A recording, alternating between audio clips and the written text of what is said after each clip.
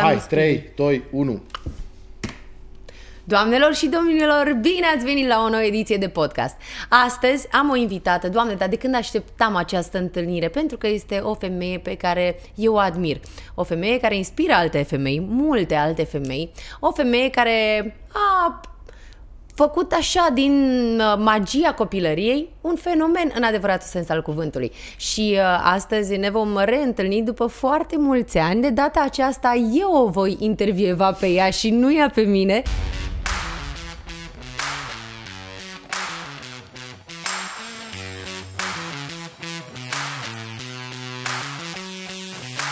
Doamnelor și domnilor, nu mă mai lungesc pentru că nu prea are nevoie de nicio prezentare.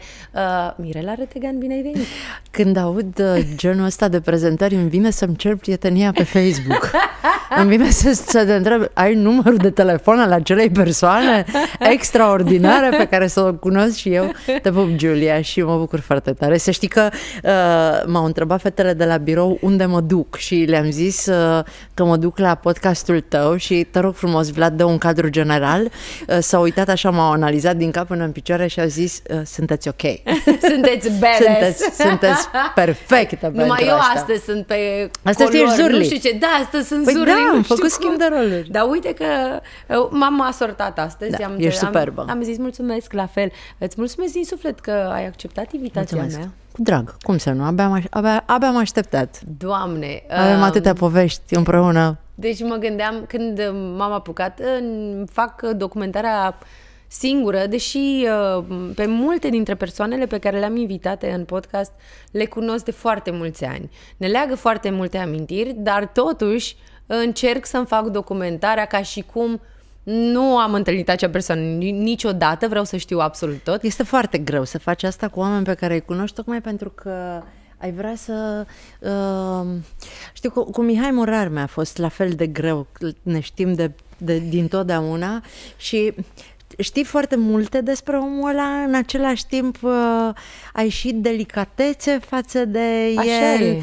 Uh, nu, nu, nu-ți mai dai seama cât din ce știi e între noi două și cât e din spațiu public. Sunt cele Așa mai e. grele discuții. Așa Cei e. Cu, cu oamenii pe care îi cunoști uh, de multă vreme și știi multe lucruri despre ei. Lumea, lumea credea că mie mi-e mai ușor uh, să am invitați prieteni sau prietene sau persoane foarte apropiate mie, uh, dar vă zic foarte, foarte sincer că cele mai mari emoții le am atunci când filmez cu persoane care îmi sunt apropiate, pe care le admir uh, și despre care, sau mă rog, cu care mă leagă foarte multe uh, amintiri și pentru că tot timpul sunt așa, zic, o, zic, da, așa să povestim și asta și asta și asta și mi-aș dori să atingem cât mai multe dintre lucrurile și cele care ne-au legat, dar și dintre lucrurile pe care tu le-ai Le făcut trăim în, în uh, prezent. tot acest timp. Um, vreau să începem cu începutul, cu momentul în care ne-am cunoscut. Cred că eram, eram la statul mare Da, cu Candy. cu Candy, nu? Uh, cred că în 2000... 2000. Cred că, da, în Cred că 2000. în 2000 eu nu aveam pe Maia. Nu, mai a, nu Da, era nu încă. era Maia încă și uh, eu mă ocupam de trupa Stigma care cânta jumătate tu, jumătate eu și uh, voi ați venit la un eveniment organizat un de eveniment. mine. Da, Zi, eu așa făceam este. acolo zilele orașului. A, și a fost în fix piața aceea așa, mare, da, cu da, 50 da. de mii de oameni, a fost o nebunie generală și făceam niște evenimente imense. Aveam o zi de pop, o zi de uh, rock și o zi de dance, că era dance și erați Candy, Valahia, uh, Alte Andra vremuri. a cântat acolo, venise cu cineva de la, de Da? la Turda, cu directorul de radio de la Turda. Uh, Volta, uh, holograf acolo a lansat, a fost pentru prima oară când a cântat în, uh, în public, uh, ți-am dat un inel Mm. și îl, avea, îl aveau pe George, nu mai știu cum îl chema, avea un impresar, un băiat foarte George frumos. Soare. Mm, George, uh, foarte înalt. George Știrbei. Știrbei. Așa, George stai. Știrbei. Da, Că- da, da. Și adică eu știu toți artiștii din Mhm. România din postura de organizator de evenimente. De-aia mie mi-a fost mai ușor când am venit în București, când am început Zurli, pentru că n-a mai trebuit să vă conving pe niciunul dintre voi că sunt un om serios, care face treabă și care este responsabil. Că Așa voi mă e. știați din postura aia. Așa e. Atunci ne-am cunoscut. Uh, Mi-amintesc că la acel concert, după ce am cântat, cred că aveam ceva sesiune de autografe în ceva magazin universal sau Așa, unde da. se făcuse, adică era organizat uh, o, um, un loc, un spațiu în care noi trebuia să mergem să dăm autografe. Uh, Din păcate, din cauza numărului foarte mare de persoane care au venit la autografe, noi n-am reușit să mai dăm autografe, am ieșit pe scara de incendiu. Deci asta mi-aminte. Da, Asta da, este da, trebuie să prima vă mea scoatem amintire. pe acolo. Da. de eu nu sunt atât de impresionată când oamenii îmi vorbesc despre wow, ce e la Zurli acum. Eu am trăit în anii ăia cu voi. Da. Voi, Trei Sud-Est, Andre. Când era nebunie. Aveați aceleași succes, erau Așa e. aceleași reacții, se umpleau molurile, parcările, intersecțiile Așa de e. copii. De-aia mie mi-a fost foarte simplu să, să, să înțeleg cum să gestionez povestea Zurli, Mhm. pentru că eu am văzut-o din poziția cealaltă, din postura uh, consumatorului. Exact. Și am știut ce trebuie să la ce trebuie să fiu atentă pentru ca fanul să fie mulțumit de ceea ce primește și cu ce pleacă acasă. Uh, Nu ți-a fost frică atunci când uh, ai pornit uh, proiectul uh, Zurli uh, că o să fie greu de dus? Nu. Nu, mie mi se pare că este uh, cel mai greu uh, lucru pe care poți să-l faci în viață este să faci ceva care să implice copiii. Uh, de- cred că trebuie să ai o iubire, nu știu, nemărginită și o răbdare nemărginită în ceea ce îi privește și tocmai de aceea, la fel cum uh, și pe uh, magicianul, pe Marian Râlea, îl admiram și îl iubeam d- din tot sufletul. Uh, La fel uh, mi s-a întâmplat și cu tine, deși eu te-am cunoscut altfel, dar uh, cumva uh, mi se pare că trebuie să ai toată puterea Povestea din lume asta să cu copiii, pornești. eu am ținut-o cumva uh, domolită în anii în care tu m-ai cunoscut. Mhm. Eu eram jurnalist, director de radio, făceam lucruri serioase. Și erai dar- una dintre persoanele pe care le admiram foarte mult și din punct de vedere al radioului, pentru că eu întotdeauna am avut această pasiune, radioul, de când eram mică și când te-am cunoscut, a, pentru mine a fost, am zis, așa vreau să fiu eu Ce la radio. frumos. E a Jur. doua oară când aud asta, mi-a mai spus Mihai Morar Ah, iată. că el uh, asculta la Baia Mare, uh, prindea radioul la care eu lucram și a zis, erau doi oameni, Andrei Gheorghe la București și era o nebună la satul Mhm. Da, mare da, care da. făcea lucrurile într-un fel și mi-am zis că eu așa vreau să fiu. E onorant pentru mine, îți dai seama. Și noi acum suntem colege. Exact. De, ne desparte o ușă de Exact. frecvență. Nu, nu mi-a fost frică, tocmai pentru că eu iubesc copiii foarte tare și tu m-ai văzut în petrecerile de zile de naștere. Așa e. N-ai cum. N- Nu, nu poți să păcălești.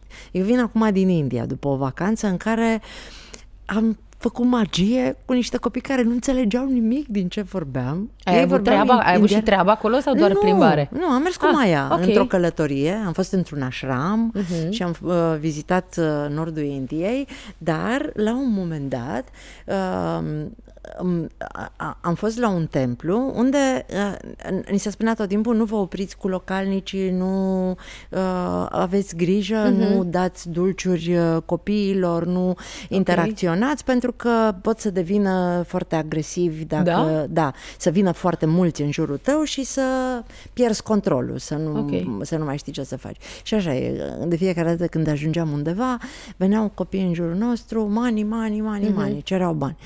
Și eu am văzut la un moment dat sub un copac, erau uh, două fete tinere cu doi bebeluși în brațe, am trecut pe lângă ei și n-am putut să nu mă opresc, că n-aveam cum. Deci nu exagerez, cred că într-un minut s-au strâns vreo 30 în jurul meu care ziceau, mani, mani, mani, mani, doamnă, madame, madame, uh, miss, miss, atât știau să spună. Mhm. Și am avut un moment din ăla, uh, auzeam în cap ghidul care spunea, nu interacționați, nu... E, Stai puțin, că eu funcționez altfel. Și unul dintre copii era în brațe și am început să mă juc cu el. Cucu, bau. Și toți au înlemnit. Cucu, Că nu se așteptau. Bau. Și zic, hai și voi, cu mânuțele. Cucu, bau. prima, în prima fază a fost șoc, după care au început să intre în jocul meu. Nu vrei să știi ce spectacol am făcut sub Sunt copacul convinsă. din nordul Indiei, cu 30 de copii. Dar asta trebuie să o ai în sânge. Altfel n-ai cum.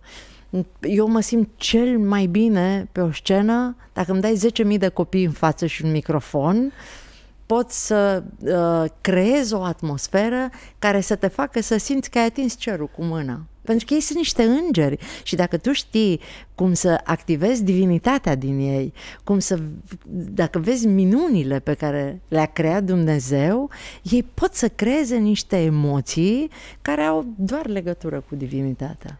Ce am observat eu uh, la toate spectacolele uh, Zurli la care am participat și au fost multe, credeți-mă, foarte multe, uh, a fost faptul că uh, toți copiii ziceai că sunt prinși așa într-o vrajă. Într-o magie, exact. Același lucru l-am simțit bine pentru că eu am trăit pe perioada Abracadabra și am crescut și am mers la spectacolele, mă rog, rar când veneau prin Galați, că nu ajungeau atât de des, dar am, pentru mine a fost o uh, reactivare a amintirilor pe care le-am legate Venind de... spre tine, am avut o conversație cu Magi, cu Râlea, Ah, ți-o arăt iată. în telefon și o să fim implicați împreună în uh, primul weekend din uh, uh, august la uh, Wonderland Fest. Este un festival mare de familie la Cluj. Mhm. La Cluj, da, da știu. Și uh, uh, povesteam cu Magi despre acest festival unde o să fim noi doi. Doamne, deci Host. uite cum, o- cum, cum se leagă toate lucrurile, dar eu cred că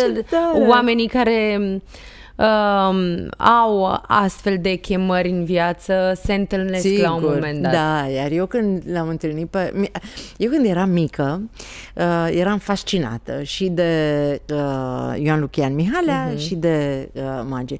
Și undeva acolo în capul meu, eu știam că o să fac ceva important în lumea copiilor și că într-o zi eu o să fiu al treilea nume important din Ce lumea tare! copiilor. Am știut asta dintotdeauna.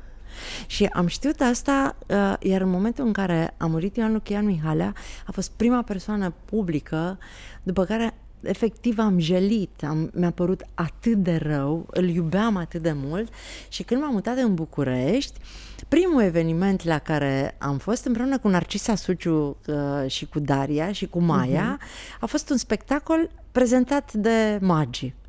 Și când l-am întâlnit pentru prima oară, nu venea să cred și uh, încă eu eram foarte rezervată, că în primii doi ani eu am fost blocată după ce m-am mutat în București, n-ai fi vrut să te întâlnești cu mine. Am avut fix sindromul impostorului al omului venit din capătul lumii. Am trecut mulți pe Cu acolo. siguranță că mulți, e- la mine a durat 2 ani de blocaj, după care am început să mă întâlnesc cu magii și am început să lucrăm împreună și a fost foarte frumos când la un eveniment public mi-a dat un premiu și a zis când mi-a dat premiu, aștept de 14 ani să vină cineva și să ducă mai departe ceea ce eu am început în lumea copiilor din România cu Abracadabra. Doamne, deci sunt piele de găină, doamne. Da. Uh, Da. um, Și e așa o relație frumoasă și acum oricând uh, simte că am nevoie sau e vreo chestie mai sensibilă, îmi scrie. Ești ok? Ai nevoie de ceva? Uh, știi că sunt aici. Ori asta mi se pare fabulos. Fabulos. Mă simt binecuvântată și norocoasă și fericită. Uh, primul uh, spectacol la care am cântat vreodată în viața mea, pe vreo scenă mare în viața mea, a fost la Tip Top Mini Top. Atunci l-am cunoscut pe Ioan Luchia Mihalea, pe care l-am iubit Nu le-am nespus. cunoscut, dar... Fă, Um, și a fost, um, cred că printre pers- primele persoane care mi-au dat încredere. Er- Eram o fetiță de șapte ani, aveam într-adevăr uh, foarte uh, mult avânt și îmi doream foarte mult să fiu pe scenă și să cânt. Eram un pic diferită de ceilalți copii, eu cântam altceva decât cântau ceilalți copii, eram badass de când eram mică, practic, uh, și a fost uh, printre uh, primii și puținii care um, au, Au văzut. înțeles și au văzut. Mhm. Au văzut specialul din tine. Da, și uh, Eu am iubit doi bărbați în adolescența mea. Eram fascinată și îndrăgostită de Ioan Lucian Mihalea și știam că într-o zi o să fac și eu ceva pentru copii și că o să fiu și eu pentru copii ceea ce uh, era Ioan Lucian Mihalea și Paul Grigoriu de la Matinal, mm-hmm. pentru care mă trezeam dimineața la 5 Hai. la radioul din bucătăria părinților mei din Deștriaș, cartierul de Ceferiști, să-l aud spunând de la Matinal zicere. și eram îndrăgostită de ceea ce făcea el acolo, în vremurile în care nici n-aș fi îndrăznit să visez că aș putea să intru într-un post de radio. Nu că o să ajung vreodată să fiu o voce, să mi se spună fata de la radio la un moment dat. Și apropo de fata de la radio, pentru că eu așa te-am auzit, cred că eram la concerte prin țară și atunci ascultam radio pentru că asta era de ascultat, nu stăteam să băgăm caseta, CD-ul în mașină de fiecare dată. Uh, vreau să ne întoarcem puțin uh, la radio. La radio. Și să-mi spui uh, când ai simțit uh, pentru prima oară că asta îți dorești să faci. N-am simțit. Nu? Uh, nu. Uh, lucrasem la un moment dat uh, prin uh, 93, uh, am fost angajată la teatru pentru că am vrut să mă fac educatoare și actriță. Astea erau cele două Ok. lucruri pe care am vrut să uh, le fac în viață. Nu mi-a ieșit niciuna din ele. Așa că Wow, astăzi sunt și o un ed- pic de a- acolo acum- și un pic exact. de acolo. Acum sunt o educatoare de pe scenă Exact. care și joc în fața copiilor deși n-am nicio pregătire pentru niciuna dintre ele și rămăsesem fără job și un prieten foarte bun care lucra la un post de radio local din satul mare m-a uh, chemat să vorbesc cu el la radio, că pe vremea mm-hmm. așa era. Hai Zi să și vorbești tu. cu mine, Exact. vină să vorbești cu mine la, la radio. Și uh, mi s-a părut fascinant să uh, facem asta și m-am îndrăgostit de felul în care se întâmplau lucrurile acolo și așa am început să vorbesc cu din ce în ce mai multă încredere la radio. În, în, în prima fază am învățat știri și în anii aceia învățai să răspunzi la cine, ce, unde, Exact. când, cum. Eu am fost unul dintre primii corespondenți Mediafax din nord-vestul uh, României și făceam și știrile pe radio, am devenit corespondent BBC. Am citit. făcut Cum a și fost presă această serioasă. experiență? Oh, fantastică, fantastică. Deci am cunoscut toți oamenii ăia care făceau în anii 90 știri de la Londra și când dădeam o relatare la Londra, deci îmi tremura receptorul în mână de responsabilitatea imensă pe care Mhm. o aveai, pentru că atunci o știre la BBC putea să schimbe un guvern sau Așa să e. dea peste cap un conducerea unui uh, partid politic. Era fascinant pentru mine și îmi plăcea radioul foarte tare pentru că uh, întotdeauna l-am văzut ca pe o scenă. Eu îmi imaginam, eu vedeam oamenii Mhm. uh, cărora mă, mă adresam și îmi plăcea foarte tare să creez imagini din cuvintele pe care le spuneam la radio. Mi-a plăcut mult și am făcut-o ani de zile cu foarte multă bucurie și în continuare sunt oameni care mă știu de acolo și am rămas în legătură cu ei. Și în continuare ești uh, la radio. Sunt, sunt, sunt, sunt Ești- la radio și sunt foarte fericită, dar dăm voie să mă laud puțin, să fie momentul meu de glorie. Uh, când uh, am încheiat o etapă cu Gașpar la antrenorul părinților, la Europa FM, eu m-am dus la Radu, directorul de programe, și i-am zis, uite, aș vrea să facem o emisiune că cumva să aducem pe radio discuțiile care sunt doar în podcasturi. Uh-huh. Pentru că încă există foarte mulți români care nu ascultă podcast, Așa e. care nu vizionează, Așa este. care în continuare au care pe radio, FM-ul. Hai să ducem în FM aceste discuții care sunt extrem de importante. Oamenii devin din ce în ce mai preocupați de zona asta de dezvoltare, de cunoaștere, de descoperire. Și vreau să fie o emisiune în care să privim lucrurile dintr-o altă perspectivă, să se numească schimbă perspectiva. Și Radu zice, nu sună rău deloc, ai tu încredere? Și am zis, da, am încredere, uh, o să aduc oameni care au ceva de spus în zona asta și să le dăm ascultătorilor niște instrumente Exact. să învețe ceva din, din, uh, Din discuția voastră. discuția noastră. Da. Și la ultimele audiențe a ieșit pe locul întâi emisiunea. Oh, ce tare! Dar nu ți-e dor să faci radio în fiecare zi? Nu. Nu? Nu, Când nu, mie nu. mi-a fost dor și iată-mă unde sunt. Nu, nu, nu, nu, nu, nu, nu. Este Nu, o capcană. Tu, tu, tu ești mai tânără, tu încă mai poți. Lasă, la vârsta ta și eu mai voiam să o fac în fiecare zi. Uh, în, în, în, aș, ar trebui să am timp pentru asta. Aș vrea să pot să fac asta. Aș vrea să am timp să fac asta. Dar uh, în momentul ăsta nu e uh, viața mea despre o linie la radio. Dar E care a, foarte fost, frumos să faci. care a fost tra- tronsonul care ți-a plăcut cel mai mult? Matinalul. Matinalul. Matinalul, deci este spectacol. Așa e. Dacă vrei să faci radio, faci matinalul. Așa e, așa e. Este absolut spectaculos. E adevărat că și la Național eu făceam de la 10 la 12 Mhm. șefa. Da. Toată lumea credea că eu sunt șefa Naționalului. Toni Tășiu, care era directorul de programe, era fascinat de felul în care eu făceam un slalom în, în, în nebunia aceea. Deci a fost o perioadă foarte, foarte, Foarte frumoasă, frumoasă. pentru mine. Da. Și făceam șefa, o emisiune interactivă 100%, mie mi-a plăcut foarte tare. În fiecare zi lansam o temă pe relația șef-subaltern, când ți-a suflat uh, postul unul cu pile, când uh, ai suferit din cauza nepotului șefului tău, când uh, ai ales uh, un job uh, pe criterii de uh, eu mă fac că lucrez, ei se Exact. fac că mă plătesc. Dar oamenii erau foarte interesați. Da, da, da, da, da, da. A avut succes foarte mare și mi-a plăcut și acolo am făcut linie, de la 10 la 12 și am o amintire foarte frumoasă de fiecare dată când mă duc la Neața, la Răzvan și la Dani, ne amintim.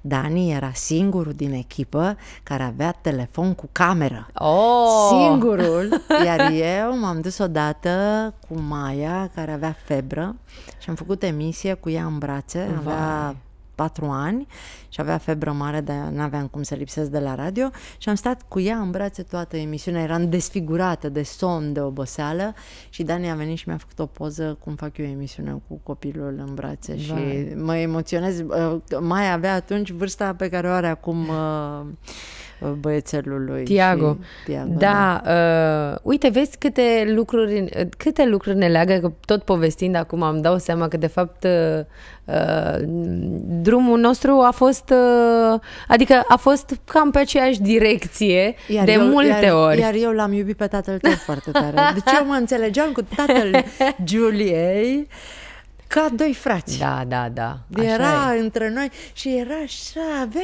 el așa un fel, semăna cu tata, aducea ceva din bunătatea tatălui Tata e la meu. fel, să știi, și acum este tot la fel, doar că acum are, ne ajută foarte mult cu Antonia și cu Mica. Sunt convins. Lucru la care, uite, de exemplu, eu nu m-am așteptat. El are acum mult mai multă răbdare decât a avut cu mine. E mult Știi mai... cum se spune că nepoții sunt șansa pe care bunicii o primesc să facă ceea ce n-au putut să facă atunci când au avut copiii mici. Revenind uh, un pic la radio, pentru că mie mi se pare că radioul, uh, acum întorcându-mă după o pauză de 11 ani la radio, uh, 11 ani am trecut, în acești 11 ani am trecut doar așa, în vizită, invitată, când am mai fost invitată să m, mai fac emisiune cu câte cineva, uh, am mers cu tot dragul, cu toată inima, clar, este radioul este ceva ce îți rămâne, dacă ți-a intrat în sânge acolo, a rămas pentru toată viața. Um, dar mie mi se pare că s-au schimbat S-au schimbat foarte mult lucrurile față de ultima dată când eram eu la radio. Uh, și voiam să te întreb bă, că eu așa o simt cumva, uh, dacă și ție ți se pare că m, tot filmând uh, și tot uh, f- um, uh, având această Atenție! atenție asupra... Asupra felului în care da, arăți. nu ți se pare că s-a pierdut puțin din... Adică eu, de exemplu, pe vremuri mă duceam în pijamale la radio, eram nemachiată, aveam o șapcă pe cap și mă simțeam absolut extraordinar. Iar Acum, eu, iar eu aveam 90 de kilograme și 1,60 m și primeam scrisori. Știu că ești înaltă, blondă, cu ochi albaștri și abia aștept să ies ca să te cunosc. Ciprian, celula 72, din penitenciarul Satu Mare. Tu știi, nu știu dacă ai văzut, eu am mai povestit asta. Eu am făcut la radio o emisiune care se numea Matrimoniale. oh, Așa l-am întâlnit pe tatăl Maiei. nu cred Ba așa da. ceva. Eu uh, mă căsătorisem foarte devreme, fugisem de acasă la 19 ani și mă căsătorisem cu tipul, primul bărbat de care m-am îndrăgostit. Am, m-am despărțit de el și rămăsesem în satul mare, eu fiind din Dej, din județul Cluj. Și uh, nu, nu, nu mai întâlneam pe nimeni, nu se mai lega, nu. Și ce mi-a trecut mie prin cap, așa inventivă fiind, să fac eu o emisiune uh, pe care să o intitulez uh, sugestiv matrimoniale. Perfect. Direct. Nu avem timp să pierdem vremea. Și în fiecare seară, de la 8 la 10, mă duceam la radio, făceam linie uh-huh. și oamenii intrau în direct și ziceau Bună ziua, pe mine mă cheamă Vlad, sunt uh, înalt, am uh, 78 de kilograme, ochi căprui, îmi place teatru și fotbalul și vreau să cunosc o fată uh, care să aibă creastă și blugi rupți și să îi placă și ei Și să ne sunau? plimbăm seara. Da, Nu o cred. grămadă de cupluri, m-am dus la căsătorii. Nu m-au pot să invitat. Cred. Ba da, ba da. Și Deci sunau ai de avut pe mână fix. bună. Sunau de acasă, de pe fix, pentru că ne sunau și noi îi sunam înapoi de pe fix și uh, pe fix. Și după doi ani în care n-a sunat nimeni să-mi spună uh, eu sunt ăla și te vreau pe tine, motivul pentru care se făcuse acea emisiune, am zis gata, renunț, ok, nu, aceasta e calea. Să încercăm Și altfel. Am, am, am citit uh, pe post uh, Ana Plandiana, Iubesc ploile Mhm. și când am ridicat privirea din carte, l-am văzut dincolo de sticlă pe tatăl Maiei și atunci l-am văzut. El de 2 ani stătea dincolo de sticlă Nu pot să cred. și râdea de mine cu în fiecare Faci- ziceam, gata, astăzi vine, astăzi îl găsesc. Da, ăla a fost. Doamne! Și a fost uh, dragoste la prima vedere? Păi nu, că deja era, A, mă a rog, câta la- vedere era după atâția ani. Nu, că am avut o Nu, dezbatere nu, de nu, curând. aia a fost, aia, cred că a fost dragoste oarbă. cred că a fost dragoste oarbă, nu ne-am văzut, dar ne-am îndrăgostit, ne-am plăcut. A, f- Da, din momentul ăla în care m, ti- când se aprinde becul și știi că ai ceva de făcut cu omul mm-hmm. din față, deja acolo nu mai e loc de întors. Începe toboganul. Așa e. Uh, Vreau să ne întoarcem puțin la uh, copilăria mai. Așa. Pentru că vreau să te întreb uh, care a fost cea mai mare provocare care a venit odată cu rolul de, de, de mamă? mamă? Nu-mi dau seama. Mm, Eu am luat-o ca pe o bucurie imensă și uh, așa au fost foarte multe lucruri prin care am trecut ca mamă pentru că n- nu știam să le gestionez.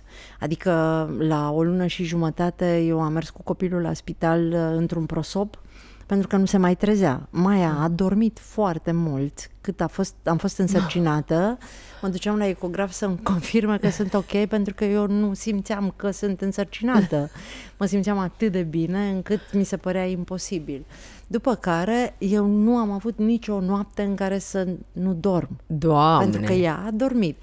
Dar la un an și la o lună și jumătate eu am lăsat-o liniștită să doarmă, doar că ar fi trebuit să o trezesc o și hrănesc. Și ea s-a deshidratat Vai. și m-am dus cu ea în prosop la uh, urgență și mi-a zis doctorița neonatologa foarte drăguță, nici o țărancă nu vine cu copilul mor de foame, că ele știu că trebuie să-i dea de mâncare.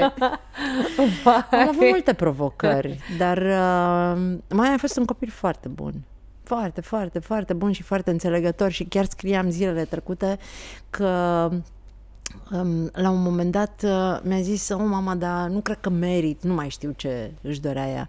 Și am zis, fetiță, tu meriți tot ce-ți dorești, pentru că eu am putut să fac tot ce am făcut pentru că tu ai fost bună și tu ai stat și cu mama și cu tata și cu bona și cu vecina și cu prietena și cu uh, uh, Cu cine se femeia care nimerea ca făcea să stea. curat și cu, cu oricine ai fost înțelegătoare și eu am putut să plec și să fac și să construiesc și tu chiar meriți absolut tot ceea ce, ce primești și ce pot eu să-ți ofer. Ca și copil, ce năzbâtii făcea?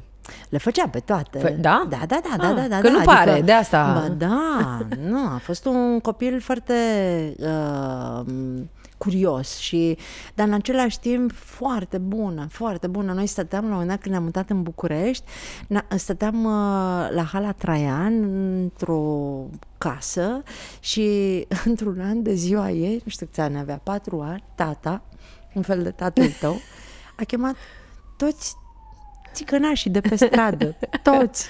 Că acolo erau foarte multe familii de romi și tata i-a chemat că noi eram vecini, ne întâlneam. Și uh, când a venit taică o acasă nu înțelegea pentru că era curtea plină, iar ei erau atât de drăguți, erau gelați toți, culeseseră flori de pe marginea drumului să-i aducă Maiei de ziua ei și Maia era foarte fericită și taică a intrat și a zis nu înțeleg ce se întâmplă aici? Și mi-a zis, sunt prietenii mei au venit la ziua mea. Era foarte generoasă, foarte, foarte drăguță și foarte generoasă și ne jucam foarte multe uh, jocuri și tot ce am construit în Zurli, de fapt, sunt lucruri pe care eu le-am făcut cu ea când era mică. Și am datorită ei, eu am putut să descoper foarte multe instrumente uh-huh. în joacă și în poveste, pentru că ea era extrem de uh, receptivă și m-a ajutat să fac asta. A fost grea adolescență. Așa, stai că aici voiam să ajungem, Aia la adolescență, grea. pentru că A. acum Vreau să te întreb dacă faci ceva și pentru uh, copiii care au crescut cu uh, gașca Zurli, dar acum uh, intră în adolescență sau sunt deja adolescenți. Uh, ca să știm noi cum să gestionăm, că antrenorul părinților clar... clar... Sincer, sincer, nu cred că e ceva de făcut. Ah, perfect! Liniștiți-vă, calmați-vă. Nu cred că e ceva de făcut, pentru că ei tocmai Asta e ideea. Ei trebuie să treacă prin această perioadă uh-huh. în care nu trebuie să facem nimic, în care trebuie să-i lăsăm să-și o consume. Asta cred eu și asta uh-huh. am mhm. făcut cu Maia. Maia la 12 ani a pus un afiș pe ușă pe care a scris Ciocăne sau mori da. și oh. s-a culcat zână și s-a trezit uh, diavol. Peste noapte. Da. Deci într-o noapte și-a adunat uh, toate jucăriile în saci, a mutat mobila din casă. Vezi, nu e doar Antonia așa. Nu e doar Antonia. A umplut-o cu postere One Direction, a păstrat trei păpuși Monster High și acolo a început jihad. Deci am avut șase ani foarte grei. Foarte șase grei. ani? Da. Ok. Ăia șase foarte grei, după care au mai urmat încă vreo uh, șase, doisprezece... La 21 de ani pot să spun că lucrurile s-au liniștit și la 22, adică acum, am avut prima vacanță în care nu ne-am certat. Super! Mie mi se... Gata, sunt da? mult mai liniștit, liniștit acum, da. Chiar aveam așa o liniște, tai o să, să îmi pare rău, dar data viitoare când vin la radio îți voi aduce o carte care se numește Fi de partea mea. O am acasă, de să știi. Te rog frumos să o citești cu Antonia. O mai citesc o dată, că eu am citit-o doar nu, eu. Citește-o cu ea. A, Știi cu de ea. ce? Este foarte important, pentru că ce nu înțeleg majoritatea părinților, dar eu am avut noroc, mai vorbind cu mine toate lucrurile astea și eu reușind să obțin de la ea niște răspunsuri, aveam niște momente de sinceritate în care îmi spunea, mama, îmi pare atât de rău că te supăr, nu mă pot abține pur și simplu, nu, eu ziceam, fetiță, ți-am făcut ceva? De ce te porți cu mine ca și cu cârpa de șters mm-hmm. pe jos? Te-am scuipat, zim, să fiu mai atentă, să... Nu, nu mi-ai făcut nimic. Oh. și mie îmi venea să mă urc pe pereți. Și uh, Maia mi-a zis, nu mă pot abține. Pur și simplu îmi pare atât de rău că mă port așa și eu o certam și ziceam, zi ceva. Și ea intra pe mut nu, nu îmi zicea absolut nimic și când se relaxa îmi zicea să știi că eu nu-ți spun nimic pentru că nu vreau să spun nimic din ce aș putea să regret după ce îmi trec uh, nervii. Și am realizat că e mult mai deșteaptă ca mine, pentru că eu nu puteam să fac asta. Ea putea să se abțină până să-i treacă nervii. Și am vorbit foarte mult cu ea despre stările ei și despre cum nu e din cauza ei. Și am încercat cât am putut să îi iau sentimentul de vină pe care îl au absolut toți adolescenții, că își fac părinții să se simtă așa cum se simt din cauza comportamentului lor. Așa e, din păcate, foarte mulți părinți fac asta. Da. Pentru că poate nu au, um, nu și-au dat seama încă. Uh, de fapt, cel mai important este să ai răbdare și să asculți. Și să-l lași să-și să-l le lași. exprime. M- Mi-a zis zilele trecute asistenta mea, care are aproximativ vârsta mai și care e o fată foarte deșteaptă și a zis, doamnă, eu acum îmi dau seama ce ați făcut dumneavoastră cu Maia, de fapt. Ați ajutat-o să-și transforme furia în tristețe. Mhm. Și Maia n-a trebuit să-și reprime furia și nici n-a trebuit să își uh, anuleze tristețea. Pentru că eu îi spuneam Maiei, Maia, îmi pare foarte rău pentru tine că trebuie să iau această decizie. Nu poți să rămâi până la ora aia, la petrecerea respectivă uh-huh. sau în oraș, sau nu poți să te duci acolo, sau pentru că eu sunt mama ta și trebuie să decid. Eu sunt adultul, iar tu o să-mi spui la 25 de ani, mama, eram un copil, tu nu te-ai gândit că nu e ok? și am zis, din tot răul, ăsta e cel mai mic. Ai tot dreptul să fii supărată pe mine, poți să te duci în camera ta, poți să plângi, poți să nu vorbești cu mine până te li- liniștești, dar eu trebuie să iau această decizie. Pentru că eu sunt adultul și pentru că nu vreau să-mi reproșez când o să fii mare că mi-ar fi mai simplu să te las. Ar, aș scăpa de tine. Uite, uite, crezi că mie îmi convine să stau să-ți văd fața asta? Crezi că mie îmi face plăcere să stau cu tine în sufragerie și tu să fii uh, îmbufnată? Nu. Aș fi putut să te las, să pleci, ce seară liniștit aveam, ar fi fost minunat. Dar prefer să fii supărată pe mine și să știu că am făcut tot ce am putut ca să te țin departe de un pericol pe care nu cred că în momentul ăsta tu poți să-l gestionezi. Am avut o invitată la radio, pe Maia, într-o dimineață fără tine. Fără mine. Așa. și Uh, și uh, uh, ce mi s-a părut uh, amuzant într-o primă fază, pentru că ea a venit, a intrat uh, în studio, uh, foarte multe lucruri uh, pe care le-am recunoscut uh, uh, în ea de la tine. așa. Uh, și asta, na, pentru că te cunosc pe tine Da, și, foarte dar bine. să știi că și ea zice, mama, eu semăn din ce în ce mai mult cu tine. Uh, și când a intrat a zis, uh, mi-a zis mie uh, sau a vrut să facă cunoștință cu mine sau și eu m-am dus direct și am luat-o în brațe și am zis, mai zi, da te știu, nici nu erai născută, Bebelușă, da, da, practic. exact. Uh, da, și zic, da, într-adevăr, uh, nu am fost uh, acolo să te văd exact în toate perioadele în care ai trecut, dar uh, ce am gândit eu în momentul în care am văzut-o la radio fără tine, uh, a fost, uh, Doamne, ce om frumos uh, a crescut Mirela. A, Da. Asta am simțit. Da, a, așa și e, mulțumesc.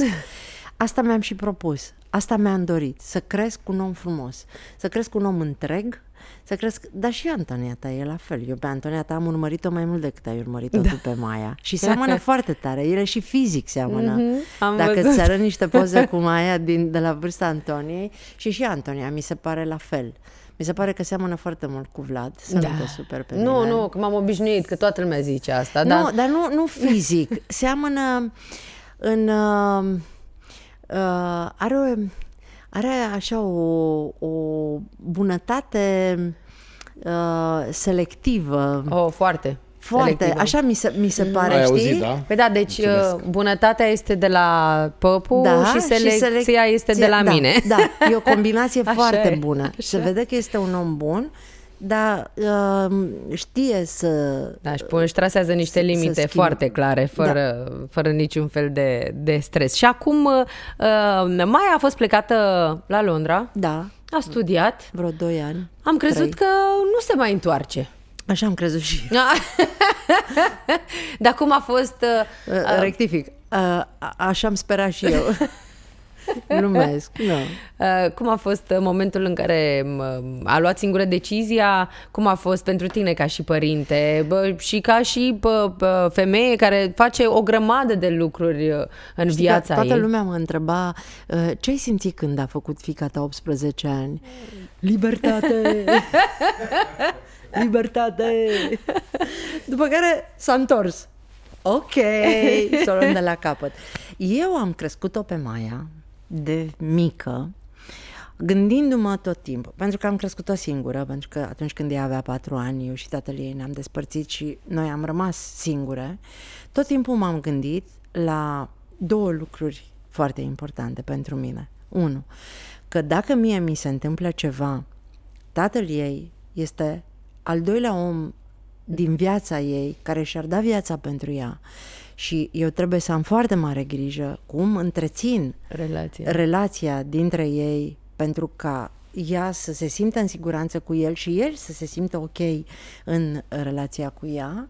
Și al doilea lucru bă, de care am fost preocupată, dacă eu mor mâine, dacă eu ies din casă și îmi cade un ghiveci în cap de pe un balcon și copilul ăsta rămâne singur, cu ce rămâne? Știe ea că este foarte importantă, că este minunea lui Dumnezeu și că ea trebuie să meargă mai departe în viața ei și care are drumul ei și care are crucea ei și destinul ei și are misiunea ei în viață, eu trebuie să am grijă să o fac să înțeleagă cât este ea de prețioasă, singură, independentă mm-hmm. de mine. Știe ea să se descurce, știe ea să ceară ajutor, știe ea care sunt oamenii importanți din viața noastră, cum să-i deosebim pe cei buni de cei de care trebuie să ne ferim. Mm-hmm. Am, adică eu am, eu am lucrat foarte mult toate lucrurile astea cu ea am pregătit-o pentru uh, cum să se descurce singură. Cum să se descurce singură fără mine, cum să se descurce singură departe, cum să se descurce singură dacă nu mai avem nimic. Făcea, mama, dacă noi rămânem fără bani, ce se întâmplă? Și am zis, fetiță, stai liniștită, facem un program de hip-hop și mergem și spălăm parbrize în intersecții. și noi o să primim bani și pentru hip-hop și pentru parbrize. Și ea zicea, auzi, dar n-am putea să mergem chiar dacă mai avem niște bani? adică învățam cumva că nu există nicio rușine să găsești o modalitate de a îți câștiga pâinea pentru, zic, oricum mai e o perioadă scurtă de timp până când te remontezi, că dacă tu știi să faci niște lucruri, Exact. te remontezi. Și atunci mi-a fost foarte ușor. Ba mai mult, m-am bucurat când mi-a spus că vrea să plece la Londra. Eu nu cred că n-ai avut emoții Nu. și că nu ți s-a strâns inima Nu. așa. Nu, Nu? niciuna. Nu, pentru că de la șase ani eu am predat-o stewardezei, iar ea a zburat singură la Londra, iar ea la Londra cu tatăl ei se descurca singură. Gânde, știi, uh, Giulia, uh, eu m-am antrenat, cântă cu uh, vreau pupic de noapte bună, nu vreau soare, nu vreau lună, vreau pupic de noapte bună, a plecat de la o conștientizare a mea că în somn copiii noștri sunt singuri.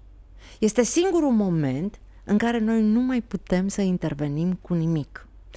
Când se pun în pat și le dai pupicul aici, care un, e și al treilea Mhm. ochi, tu cumva, prin gestul ăsta, îi predai. Îi predai lui Dumnezeu. Ce se întâmplă acolo în timpul nopții e între ei și viața lor și lumea Mhm. lor. Și am înțeles foarte devreme că eu nu pot să controlez și că tot ce îmi rămâne e să am încredere că Dumnezeu are pentru ea pregătit ceea ce are ea de trăit. Și că toate experiențele prin care ea va trăi sunt ale ei, iar eu trebuie să am grijă de mine, să stau acolo la susținere și gata să o prind din orice copac o să cadă. Am fost foarte concentrată pe cum mă pregătesc eu pentru ceea ce ar putea să trăiască Maia, nu pentru cum să oferesc pe Maia de, de ceea ce ea are pericole. de trăit E- oricum. Și de, da. Și Uh, atunci nu mi-a fost frică, știi? uh, Ba, ba mai mult, am vrut să stea departe de mine pentru că eu sunt ca tine. E o personalitate foarte puternică și copiii ăștia au nevoie să crească sub copacii ăștia care țin atâta umbră și tu trebuie să te dai în spate și să-i lași loc să crească Așa e. liberă. Uh, Chiar aveam o discuție de curând, uh, uite că s-a legat uh, dis- uh, și uh, uh, ce spuneai tu. Uh, aveam o discuție de curând uh, despre cât de important, asta spuneam eu, cât de important, uh, cât așa a pornit și acest uh, badass mom. Uh, în momentul în care l-am pornit ca și proiect într-o primă fază ca și blog, scriam acolo uh, ce simțeam, cum simțeam ca uh, mămică de fetiță prima oară, apoi de doi copii. Uh, și a pornit uh, de la conștientizarea mea a faptului că tu, ca femeie, trebuie să fii bine tu cu tine însă. Este cel mai important lucru. Tu, Și tu ca părinte. Și tu ca părinte. Uh, uh, Toată lumea era surprinsă că Maia le spunea că uh, mama, pen, pentru ea, mama e pe primul loc. Adică mai ta e pe primul loc, mai ales la noi românii, copilul este pe primul loc în viața Nu. mea. Și eu îi spuneam tot timpul Maiei, Maia, eu trebuie să am grijă de mine. Ca să pot să am grijă de tine, eu trebuie să fiu sănătoasă, fericită. Eu am și uh, moto unei uh, cărți, plădărie pentru mami și tati, în spatele unui copil lumină e un părinte soare. Tu nu poți să te aștepți să ai un copil lumină dacă tu ești întunec, întuneric. Așa este. Și când am zburat prima oară cu avionul și mai a auzit uh, instrucțiunile, stewardesa a spus explicit, în caz de depresurizare, mama își pune prima masca și, și apoi, apoi pune copilul. masca. S-a întors pe mine și a zis, ok, acum înțeleg de ce tu trebuie să ai grijă de tine, pentru că tu nu poți să rămâi fără aer, dacă că eu nu pot să te ajut pe tine, dar tu poți să mă ajuți pe mine. Crezi că în uh, 2024 uh, uh, mentalitatea uh, de la noi din țară începe să se schimbe? Da. Da, Da? da, da, o spun A- cu... simți asta? Da, da, da, da, și o spun cu, cu toată responsabilitatea. O simt uh, pentru că eu am întâlnit în ultimii 17 ani, cred că sute de mii de părinți, îi văd în sălile de spectacol, îi simt la întâlnirile pe care le am cu ei și îmi dau seama că vine un val foarte important de părinți care vor să fie cei mai buni părinți pentru copiii lor uh-huh. și vor să fie părinți pentru nevoile pe care le au copiilor. Acum începe să treacă și valul ăsta de parenting, de știu, Oh, de Greu a fost. Eu m-am bucurat că nu, Nu, pe nici- mine nu m-a prins, eu nici- nu eram nici- acolo, nici- nici aveam eu. deja am copii. avut o singură carte, mama și copilul. Mama și copilul am avut Da. și eu, că mi-a dat o mama Atât. și a zis, asta e. Atât am Te descurci. Avut. Da, atât am avut. Doamne, nu și ce exista bine pe a fost. internet nimic. Nu, nu, nu, nu, nu. Dar uh, începem să ne relaxăm. Când eu am născut-o pe Maia, orice mamă care avea un pic de condei avea un blog. Mhm, da. Deci erau erau sute de blogărițe, iar eu eram foarte relaxată pentru că știam că asta va trece, vor ajunge copiii la 6-7 ani, cam asta este limita, Mhm. după care uh, ne liniștim pentru că nu mai poți să-i gestionezi.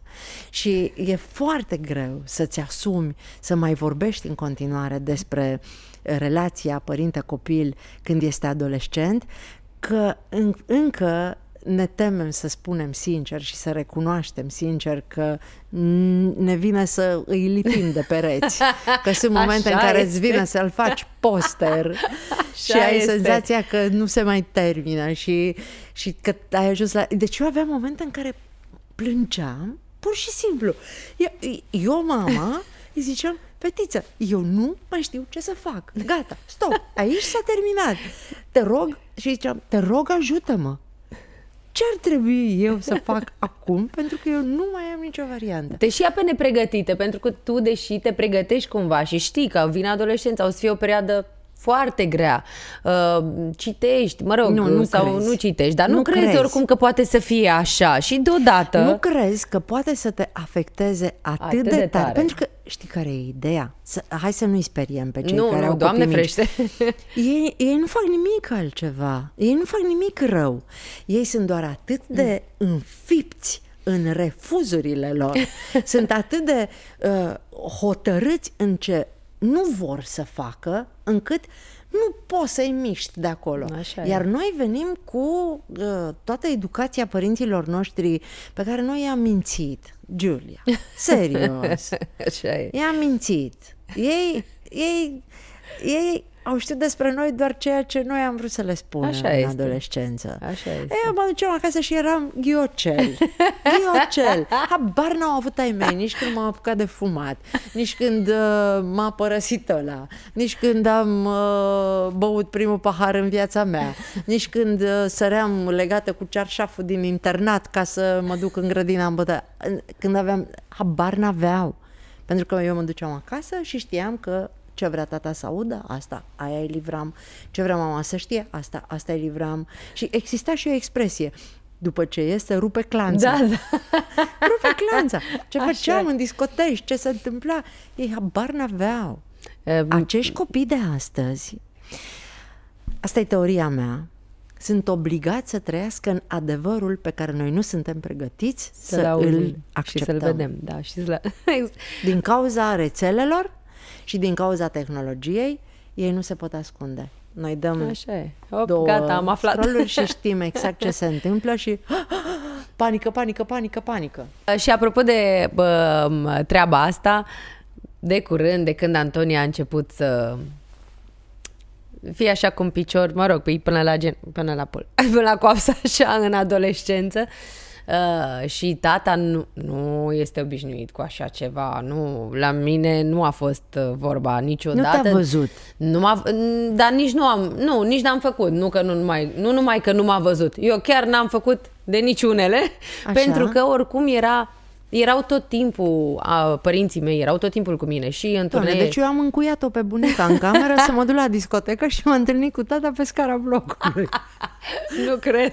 Bă, da, cum să nu? Nu, și l- l-am uh, surprins când se uita așa la mine. Eu aveam un schimb de replici cu Antonia. Uh, el ar fi vrut să zică, dar nu zicea nimic, că știe că nu e cazul în- atunci când sunt eu în discuție cu ea. Și după ce a plecat Antonia, s-a uitat la mine și a zis, Doamne, ce liniștit am fost eu când erai tu mică, pentru simplu motiv că nu aveam atâtea informații, că nu aveam acces da. la atâtea uh, device-uri și uh, platforme de socializare și așa mai departe. Uh, și am zis, zic, nu, zic, cred că norocul vostru a fost faptul că eu am avut o altfel de copilărie, uh, în care voi ați fost tot timpul cu mine, 24 din 2, nici să fi da. Da. vrut n-aveam ce să fac și dacă voiam, adică și dacă oricum eu, ei mi-au dat întotdeauna impresia că eu fac tot ce vreau, dar ei știau tot, tot timpul despre mine, oriunde aș fi fost, oriunde m-aș fi dus, nu-mi permiteam nici să ies singură pe stradă, că ai văzut puhoaiele care erau la concertele noastre și atunci eu n-am avut, eu n-am cum să fac comparație, poate de asta mi-e și uh, ciudat atunci când vine vorba de Antonia să pot să mă pun în postura unui om care a avut o copilărie, cam cum o să aibă ea poate, și să zic, mm, da, știi așa că am făcut și eu. Gaspar zicea că este mult mai ușor pentru cei care au făcut și care au Păi, păi, fost da. la rândul lor uh, rebeli să-i înțeleagă. Când Maia mi-a zis că vrea să meargă în Vama Veche singură la 16 ani, toți prietenii din jur au zis și? Și am zis, băi, dacă facem un sfert din ce am făcut eu, e deja foarte mult. n-are, adică chiar n-are, n-are, nu cred că poate să facă tot ce am făcut eu. Pentru că eu sunt uh, genul care uh, îndrăznește. Eu sunt foarte curioasă din fier. Și acum în India când am fost, mai am ține de mână. Mama, liniștește-te. Mama, calmează-te. Mama, vino aici. Mama, nu vorbi cu ea, nu te băga. Eu mă bag tot timpul, intru, fac lucruri. Da, da, curiozitatea asta ți-a și adus foarte multe da. momente pe care le-ai trăit, Da, pe care da. poate alți oameni nu le-au trăit niciodată și nici nu o să le trăiască, că n-au curajul să facă asta. Eu sunt foarte spontană. Pentru că a fost foarte drăguță Maia la un moment dat, a zis, Doamne, mama, eu nu știu cum ați reușit cu tata să mă faceți pe mine, că nu aveți nicio treabă unul cu celălalt, sunteți total diferiți. Um, vreau să ne întoarcem puțin uh, în urmă cu 17 ani, în momentul în care uh, s-au întâmplat primele uh, spectacole cu Gașca Zurli uh, și singurul uh, spectator era Maia. Uh-huh. Încă nu era Gașca Zurli, uh, intuisem faptul că uh, pot să creez niște uh-huh. uh, concepte Ok. în care să... De fapt, știi de la ce a plecat? Maia mă punea să să schimb poveștile. Ah. Uh, Nu-i plăcea deloc că cenușăreasa uh, nu mai avea mamă, iar eu trebuia să o, uh, o înviam pe mama cenușăresei și trebuia să schimb poveștile. Și toate poveștile erau uh, uh, r- reconstruite Mhm. în funcție de cum își dorea ea să uh, se întâmple lucrurile acolo. Și mă jucam foarte mult cu ea și așa mi-am descoperit acest talent de a um, crea povești altfel decât cele cu care copiii erau obișnuiți și uh, aveam uh, câțiva prieteni actori și am început să pun Faceți în scenă... jocuri de rol? Să facem jocuri de rol, da. Ah, ce să, tare. Punem, să punem în scenă tot felul de... Uh, știi că acum uh, uh, sunt acele constelații mm-hmm. care se fac... Le făceam acum 20 și ceva de ani cu uh, personajele din povești. Și uh, testam pe Maia spectacolele astea ca să-mi dau seama dacă felul în care eu văd lucrurile e și Îi pentru captează ea atenția interesant. și- Da. Pentru că eu f- e- puneam acolo toată experiența mea de on de radio. Mm-hmm. Eu nu mi-am concentrat construcția de spectacole pe decoruri, pe uh, accesorii, pe efecte de lumini, de sunet, Mhm. de... Pentru mine era foarte important mesajul pe care îl transmiteam. Și am folosit ora de la radio, Mm-hmm. dozând foarte bine cât e muzică și cât e informație. Și de fapt ăsta este secretul, Secretul. Zurli.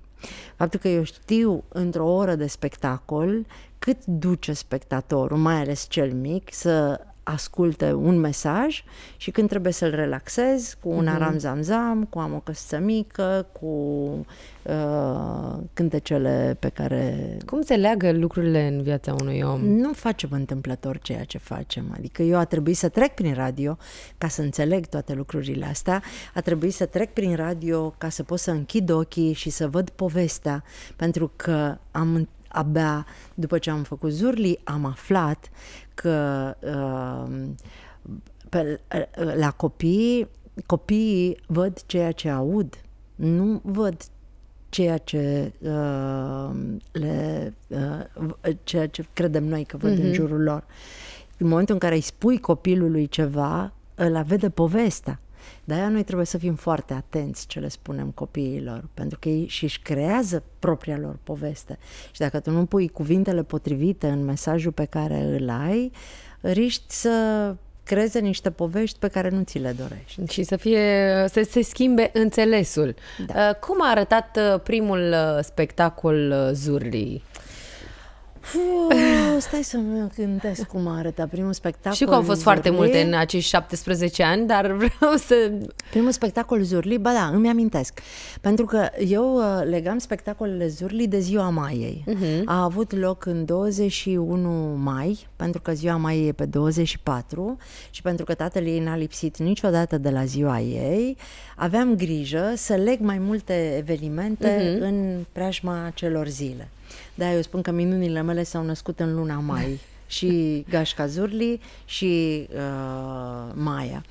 Și tatăl ei uh, făcuse muzica. Eu m-am trezit într-o noapte și am scris conceptul primului spectacol Tiriban Tiribum. Pur și simplu, la- de la 3 la 4 uh-huh. dimineața, am scris, am văzut exact cum vreau să se întâmple lucrurile. Primele personaje pe care eu le-am creat au fost Zâna Bună și Turavura. Uh-huh. Le creasem cu mult înainte de a crea conceptul de Zurli uh, pentru petrecerile de zile de naștere, ca să am uh, lupta dintre bine, Bine și, și rău, rău. conflictul. Uh-huh. Și tu ai văzut că și la botez uh, am folosit Da, uh, da, da, așa conceptul este. ăsta la un moment dat.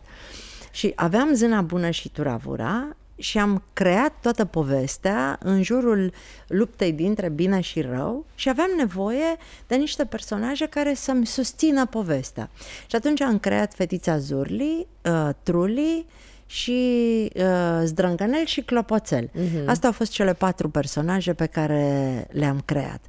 Și uh, am scris conceptul, i-am dat tatălui Maiei uh, inclusiv uh, versurile pe care le-am folosit în primele cântece, nu mai știu care erau acele prime. Ba da, Zâna Bună, eu sunt Zâna Bună, vin de lângă lună, uh-huh. am o stea numai a mea și știu că uh, uh, m-a, m-a surprins uh, refrenul cu puneți, puneți o dorință, orice cu putință, strânge pumnitare uh-huh. și dă din picioare și am scris cânte cu vrăjitoarei Turavura uh, și nu mai știu câteva cântece pe care le-a făcut tatăl Maiei și el a venit în țară pentru ziua ei și atunci am organizat și primul spectacol uh-huh. la Palatul Copiilor unde am avut doar o jumătate de sală Asta se întâmpla acum 14 ani. Uh-huh. Eu am început firma acum 17, dar Gașca Zurliei am uh, început acum 14 ani și aveam o, atât am reușit să strângem o jumătate de sală în care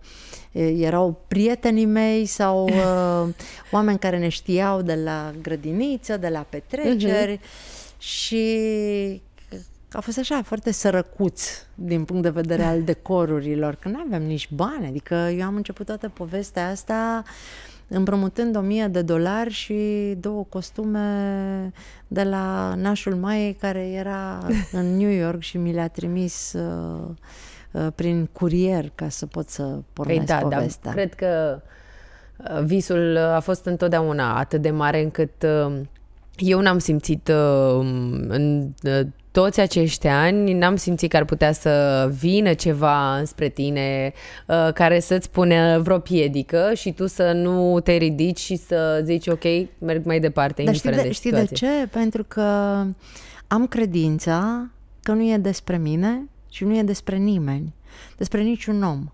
Aici este despre magia pe care ceea ce am uh, reușit să, să creez uh, magia pe care o aduce în viețile copiilor.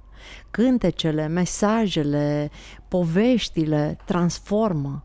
Este fabulos felul în care ei se activează și reușim să creăm acea stare de bine, indiferent cine e pe scenă, indiferent cine au fost oamenii care au interpretat personajele, magia a rămas. Este despre Zurli. Iar Așa Zurli e. este o stare uh, este uh, o emoție, este un spațiu în care părinții și copiii se vindecă împreună.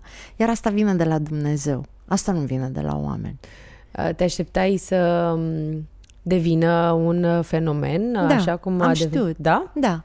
Am știut asta și le, le povesteam prietenilor și am o prietenă care îmi spune tot timpul că nu o să uite niciodată cum acum 20 de ani eu le spuneam că într-o zi uh-huh. eu o să creez un concept care va duce bucuria în cele mai îndepărtate sate din România. La cei mai amărâți copii, eu voi duce bucuria pe care personajele au adus-o în viața Maiei, în viața mea, pentru că am avut tot timpul această aplecare asupra copiilor defavorizați și asupra oamenilor care nu au acces și care nu au egalitate de șanse de a mm. trăi și de a uh, vedea lucruri. Și îi, îi povesteam, le povesteam, să vedeți că o să am microbuze branduite și o să le colorez și o să plimb. Vedeam uh, camioanele Coca-Cola mm-hmm. și le spun, uite așa cum sunt camioanele astea, eu o să am microbuze colorate cu care o să bat toată România și o să am platforme care o să se oprească în sate și o să facem spectacole gratuite. Și ghiși ce, Giulia? Anul ăsta o să mi se îndeplinească acest vis. Anul ăsta o să încep un proiect cu care o să străbat România dintr-un capăt în altul, în cele mai îndepărtate sate, unde o să duc bucuria Zurli și starea de spirit în care eu cred din toată ființa. Crezi că ai uh, manifestat la momentul respectiv? cred că am uh, simțit corect ceea ce am de făcut. Nu cred că am manifestat. Crezi că bă, pur și simplu ți-ai intuit foarte parte, clar? Da, cred că face parte din treaba mea.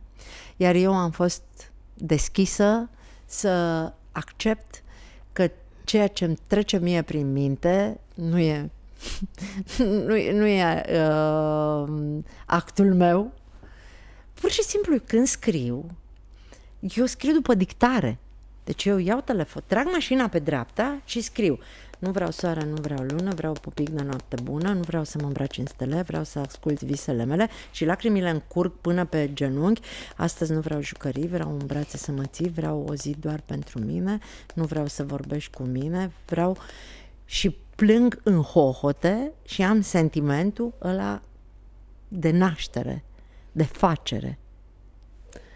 Care-i treaba mea în povestea asta? Ești uh, un uh, mesaj, ești mesagerul potrivit pentru atât asta. Și știi ce, știi ce m-a ajutat foarte tare? Că am înțeles asta și știi ce fac eu după ce scriu un text? Îl trimit unui editor. Liviana mm-hmm. Tane cea cu care am scris cartea Fi de partea mea, a fost primul editor care a spus eu traduc din Mirela Retegan în română, pentru că scriind așa, nici eu nu mai știu ce scriam. Și pentru că niciodată nu vreau să mai intervin asupra ceea ce am scris, considerând că nu mi-aparține. Eu uh-huh. nu corectez textele, de-aia de multe ori mai am câte un entuziasm în care pun pe Facebook fără să treacă pe la editor și e ceva rău, rău, rău. Pentru că nu sunt ale mele. Nu, nu, e, nu e glasul meu ăla. Pur și simplu. Eu cred că asta este inspirația. Așa este. Este felul în care divinitatea transmite Ceva. un mesaj uh-huh. care ajunge. Iar astea care sunt uh. adevărate, astea ajung în inim. Așa se nasc lucrurile speciale, unice, așa se nasc evergreen-urile, așa se nasc acele uh, mesaje puse în cântece, în desene, în filme, în ce vrem noi, care rămân peste ani și peste ani și peste ani. Iar eu am simțit că fac asta fără să-mi spună nimeni. Că pe urmă au venit. Adică eu, eu, eu am făcut acum 20 de ani, înaintea fiecărui cântec, la petrecerile de zile mm-hmm. de naștere, le spuneam, ok, hai să chemăm muzica împreună. 3, 2, 1, să vină muzica. Și a venit și a zis, a, e NPL, NLP, e NLP, da, ce faci tu? A, e Reiki, pentru că de fapt te deschizi și cureți când faci așa, 3, 2, tu cureți energiile negative și le învârți și, le, și rămâi deschisă. Și am zis, Ma. păi, e foarte tare dacă e așa. Dar eu nu știu de ce am considerat că și n-am făcut-o singură, tot timpul am lucrat cu alți oameni, asta de exemplu formula asta, am simțit că am nevoie de ea. Uh-huh. și lucram cu Nadia uh, Dimitriu care era coregraf și cu Nadia am construit toată chestia asta, la fel, atențiune, accelerăm. Toate cântecele, atențiune, accelerăm și Aram Zanzam și am o căsuță mică, au câteva chestii pe care un sociolog sau un psiholog ar putea să ți le uh, disece într-un fel uh-huh. foarte interesant. Nimic nu e competiție în ce am făcut eu. Totul este competiția ta cu tine.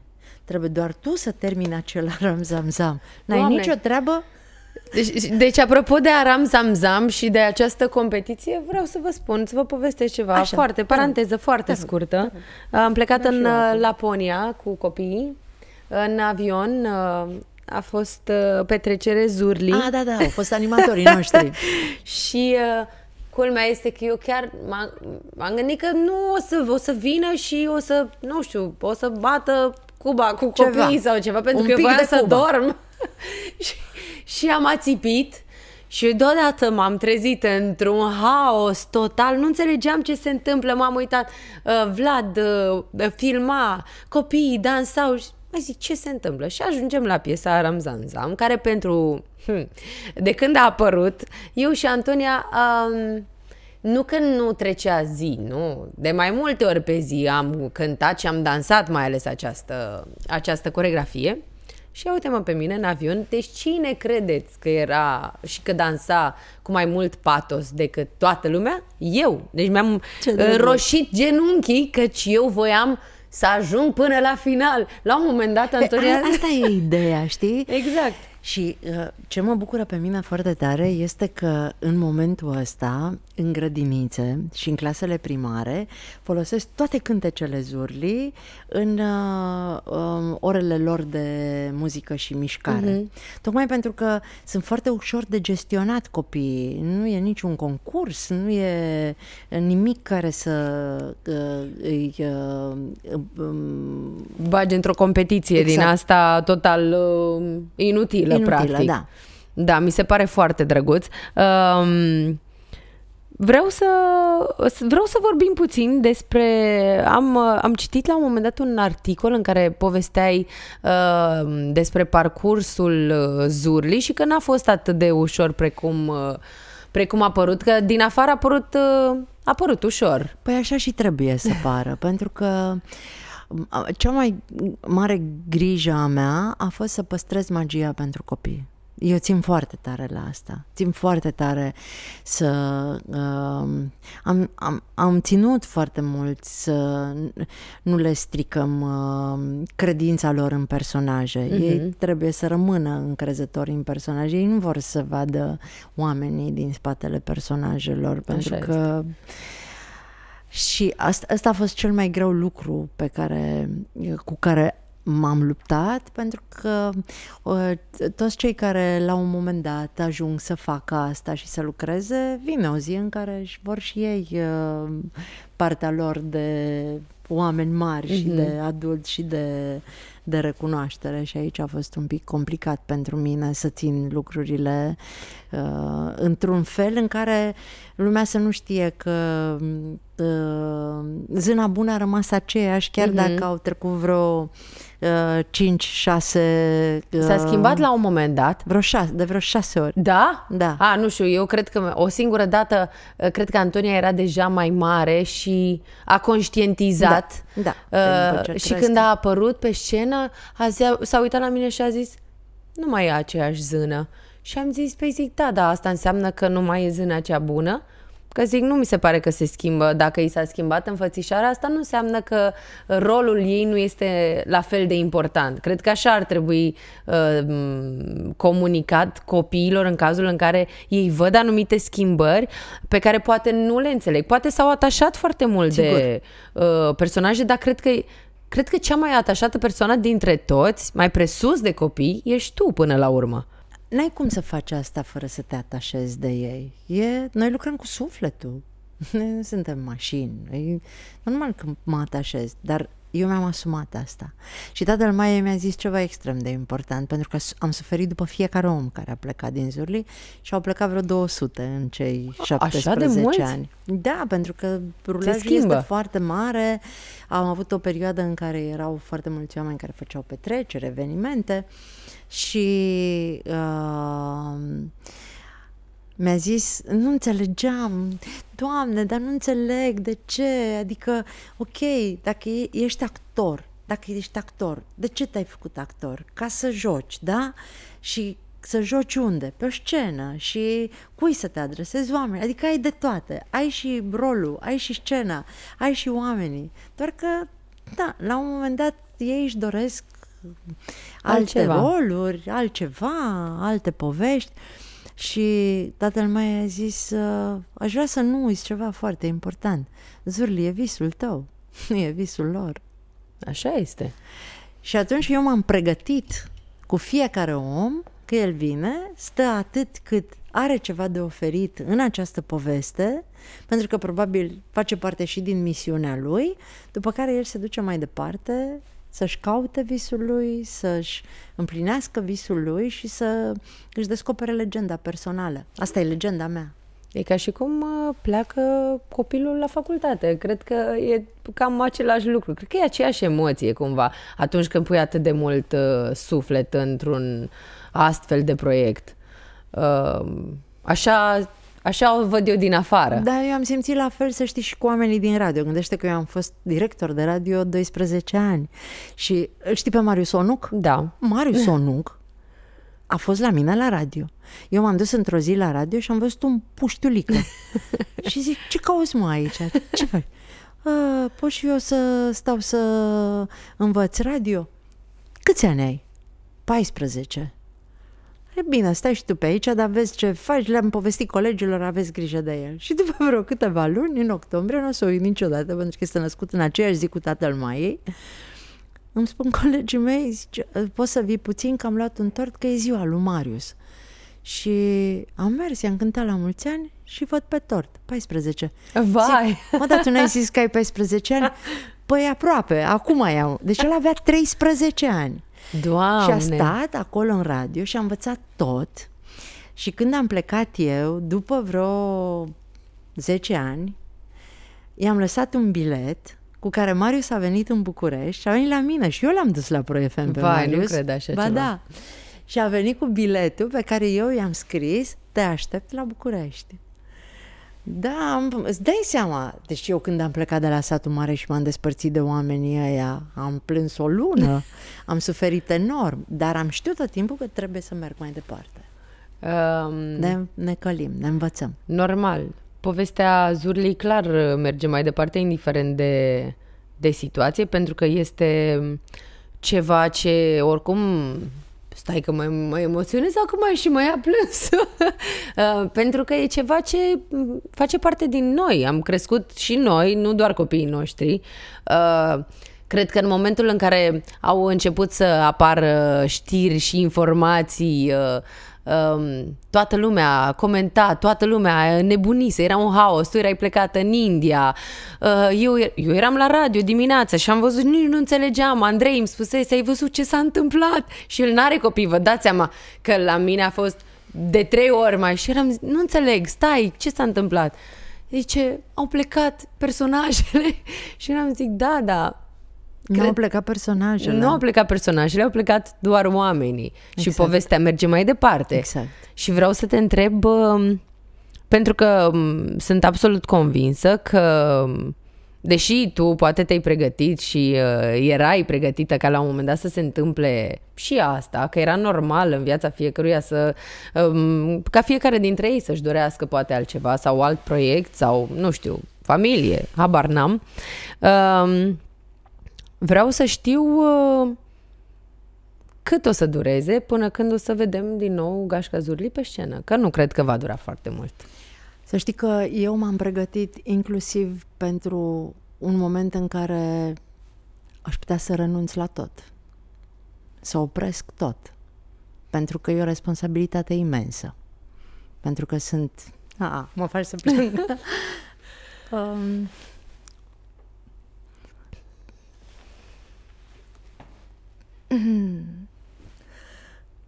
E ok, emoțiile sunt bune, nu sunt rele niciodată. Nu? Știu. Mm, Dar tocmai am aflat de la un uh, uh, astrolog în India că sunt prea emoțională și că ar trebui să trec lucrurile mai mult prin minte decât prin suflet, că mă consumă prea tare. Uh, mie mi s-au întâmplat câteva lucruri foarte dure mm-hmm. în ultimii ani. Uh, în, în 2020, în luna ianuarie, Stai că Mulțumesc vine cu frumos. șervețel. în 2020, în luna ianuarie, uh, YouTube-ul a ales să uh, scoată de la monetizare toate canalele pentru copii Mhm. și să le treacă pe un uh, YouTube Kids și uh, uh, n-am mai primit niciun ban de la canalul de YouTube tot anul 2020 și 2021. Ce s-a întâmplat în 2020, în martie? Pandemia. Pandemia. Lockdown, toată lumea era pe YouTube. Da.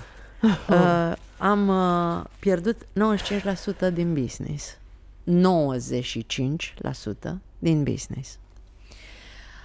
Am reușit să țin toți oamenii, nimeni n-a intrat în șomaj, nimeni nu a plecat acasă, ba mai mult, i-am adunat pe toți și de acolo, de la noi din sediu, am creat concepte, programe, am scris cântece, povești, am făcut live-uri, am, am muncit. Mai mult decât au muncit toți artiștii la un loc, pentru că am simțit că este responsabilitatea mea față de copiii care știam că vor sta acasă, cu părinții care nu erau pregătiți pentru asta și îmi doream să fim o pauză de, de, O gură de aer. de o gură de aer pentru părinți.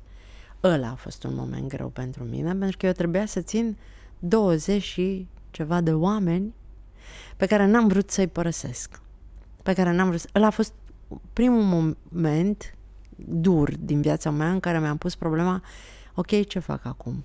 Puteam pur și simplu să apăs butonul și să închid. Oricum YouTube-ul nu mai susținea absolut deloc final. Toată lumea zicea, mamă, câți bani ai făcut în pandemie. Mm-hmm. Oamenii nu știu că ea ne-au tăiat toate veniturile în anii aceia. Uh, și am uh, am reușit să trecem cu bine peste povestea asta și a fost un moment de oboseală atât de mare în care m-am simțit copleșită de responsabilitatea atâtor oameni. Și mi s-a părut, atunci am colțit pentru prima oară în capul meu, cum ar fi să mă opresc? dar față de cine sunt eu responsabilă? Dar de ce n-aș putea să opresc tot, de, de, de, de ce am nevoie de asta? Că eu mă duc să lucrez la radio, mă duc să, nu știu, pot să fac o grămadă de lucruri. Așa e. Am din ce să trăiesc, am un copil și atât, mama e ok, e... De ce aș avea nevoie de toată nebunia asta? Pentru că ai mai mulți copii. Ai foarte mulți copii. Pentru că m-am simțit responsabilă. Pentru că am simțit că România ar fi mai săracă. Dacă eu aș apăsa butonul de stop, până la urmă toată lumea zice, e un business. Ok, atunci e foarte simplu, îi dăm stop și că e doar un business. Nu e doar un business. A devenit un business pentru că trebuia să învăț cum să-l gestionez. Trebuia să descoper cum fac cu toate biletele, cu toate taxele, cu toate nebuniile pe care le implică. Dar nu e doar un business, este e probabil unul dintre cele mai frumoase lucruri care s-au întâmplat în România în ultimilor 20 de ani și am încredere că o să primesc inspirație, să duc lucrurile acolo unde ele trebuie să meargă. Nu unde vreau eu, nu unde vrei uh-huh. tu, nu unde vor uh, anumiți părinți, nu unde vor anumiți interpreți. Nu e despre noi. Pur și simplu, bulgărele astea, eu am înțeles asta, se duce acolo unde trebuie să ajungă. Iar eu sunt aici, floricică, și zic, Doamne, inspiră-mă, arată-mi ce avem de făcut mai departe. Sunt foarte bucuroasă că Maia e acasă în momentul ăsta și uh, a, a avut dorința de a mă susține și de a... Uh, uh, mai, Dumnezeu știi cum ți le așează, doar că nu ne, nu ne dăm seama. Deci că eu am făcut mascotele în pandemie din dorința de a îi proteja pe copii, să nu trebuiască să facem animație personajele cu mască, cu mască. pe față. Și atunci am creat aceste mascote ca să putem să ne ducem, uh-huh. să ne mhm. întâlnim cu copiii și să se simtă protejați. Și abia atunci am realizat, stai un pic, că eu dacă fac aceste mascote, eu pot să fiu în mai multe locuri în același timp. Uh-huh. Și îmi și imaginam uh, un concept cu mascotele care pleacă cu un host, cu un prezentator la Iași. Același concept cu mascotele și cu un prezentator la Timișoara. Același concept în județul Brașov. Același concept pentru că îți vine să crezi că din 311 orașe din România noi am ajuns doar în 40?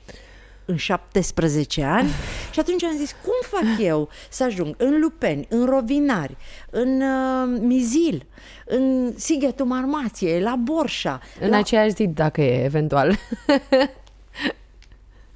Măcar uh, să iau niște zone geografice uh-huh. și mi-am dat seama că n-am cum să împlinesc. Ăsta e visul meu.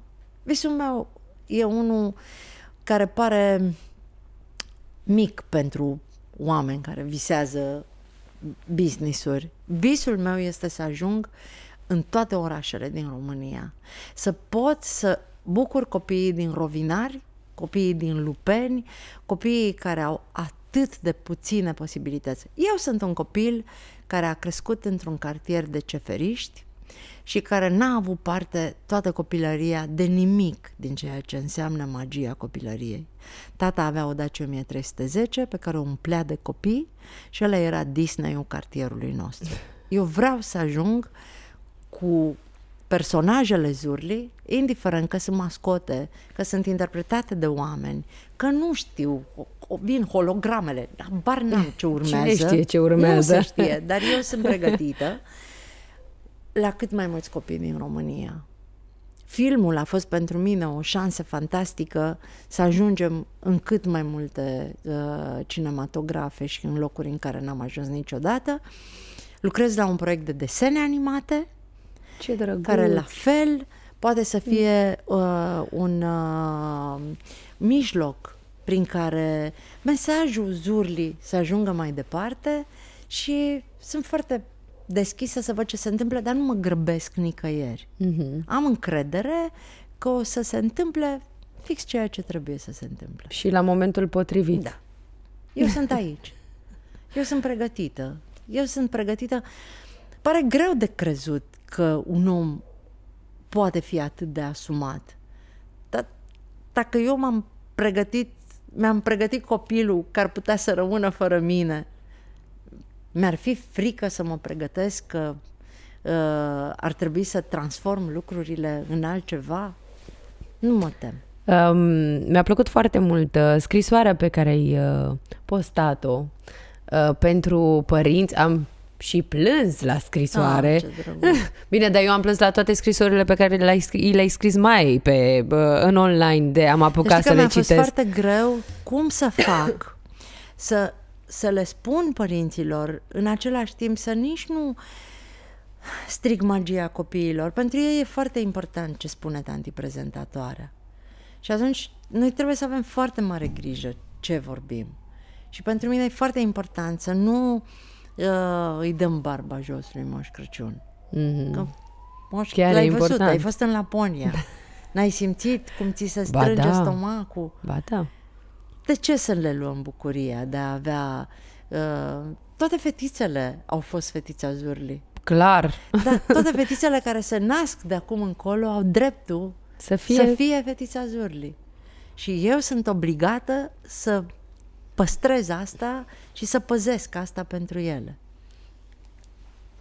Cred că um, ai o, pe umeri o responsabilitate foarte mare, dar uh, cred că um, așa cum primești inspirație atunci când uh, e momentul potrivit să primești inspirație, uh, așa ai primit de fiecare dată și puterea de a face lucrurile să meargă, uh, indiferent de situație și uh, puterea de a crede în visul tău până la capăt să-l vezi împlinit, indiferent de ce se întâmplă pe drum. Până la urmă, toată viața e, o, um, e un drum destul de anevoios, nici de cum atât de rost precum ne-am imaginat noi în copilărie, poate, și uh, toate piedicile și obstacolele au uh, scopul lor și rolul lor. Fiecare om care a trecut prin Zurli a lăsat o bucățică de suflet, iar cei care uh, au avut mai mult de oferit au rămas mai mult, cei care au avut mai puțin de oferit au stat mai puțin și eu sunt recunoscătoare fiecărui om că a trecut pe aici. Zurli, deși pare greu de crezut, este un loc în care poate să vină oricine.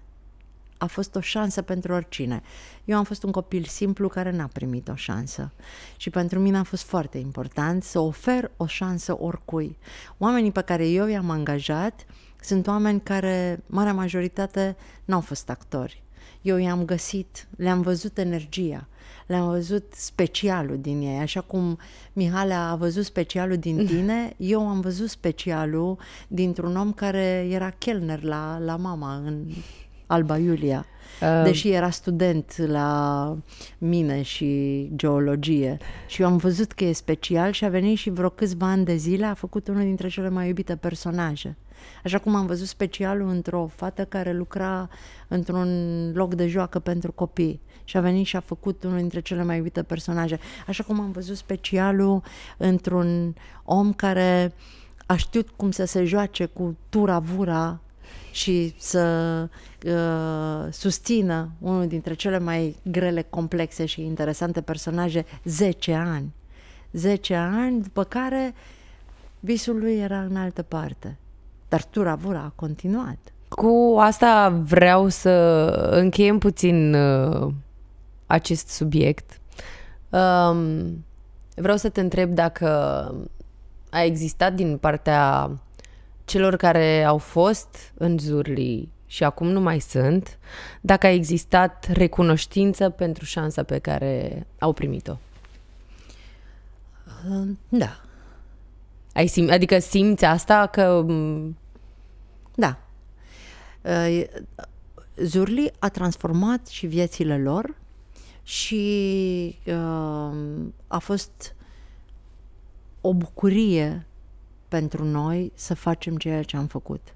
A fost greu, nu e deloc ușor să bați România dintr-un capăt în altul, chiar dacă eu m-am străduit să le creez cele mai bune condiții. Cred că noi am avut cel mai bun, dotat, uh, special microbuz dintre toți artiștii din România. Am stat la cele mai bune hoteluri, am avut team building-uri cu ei, i-am dus la Coldplay la Paris, am zburat cu balonul în Capadocia, am fost 5 zile în Israel, la locurile sfinte, am făcut, am încercat tot timpul să compensez lucrurile, dar eu cred, din toată ființa, că fiecare om care a trecut pe la Zurli uh, știe ce a adus Zurli în viața lui.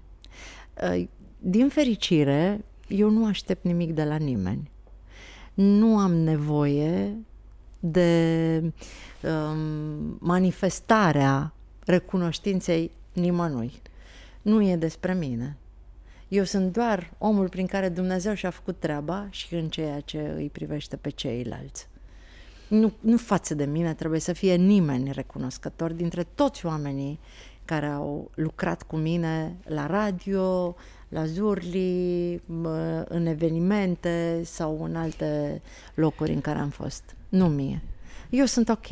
Eu, eu, eu am... Uh, știi, știi care e recunoștința mea? Știi cum simt eu că primesc nu recunoștința, când mi se pare prea mult. Um, apreciere pentru efortul mm-hmm. meu, pentru munca mea, pentru nopțile mele nedormite, când vine câte o mamă cu copilul la autografe și mama vine și zice pot să primesc o îmbrățișare? Și pur și simplu se prăbușește în brațele mele și începe să plângă. În eliberator.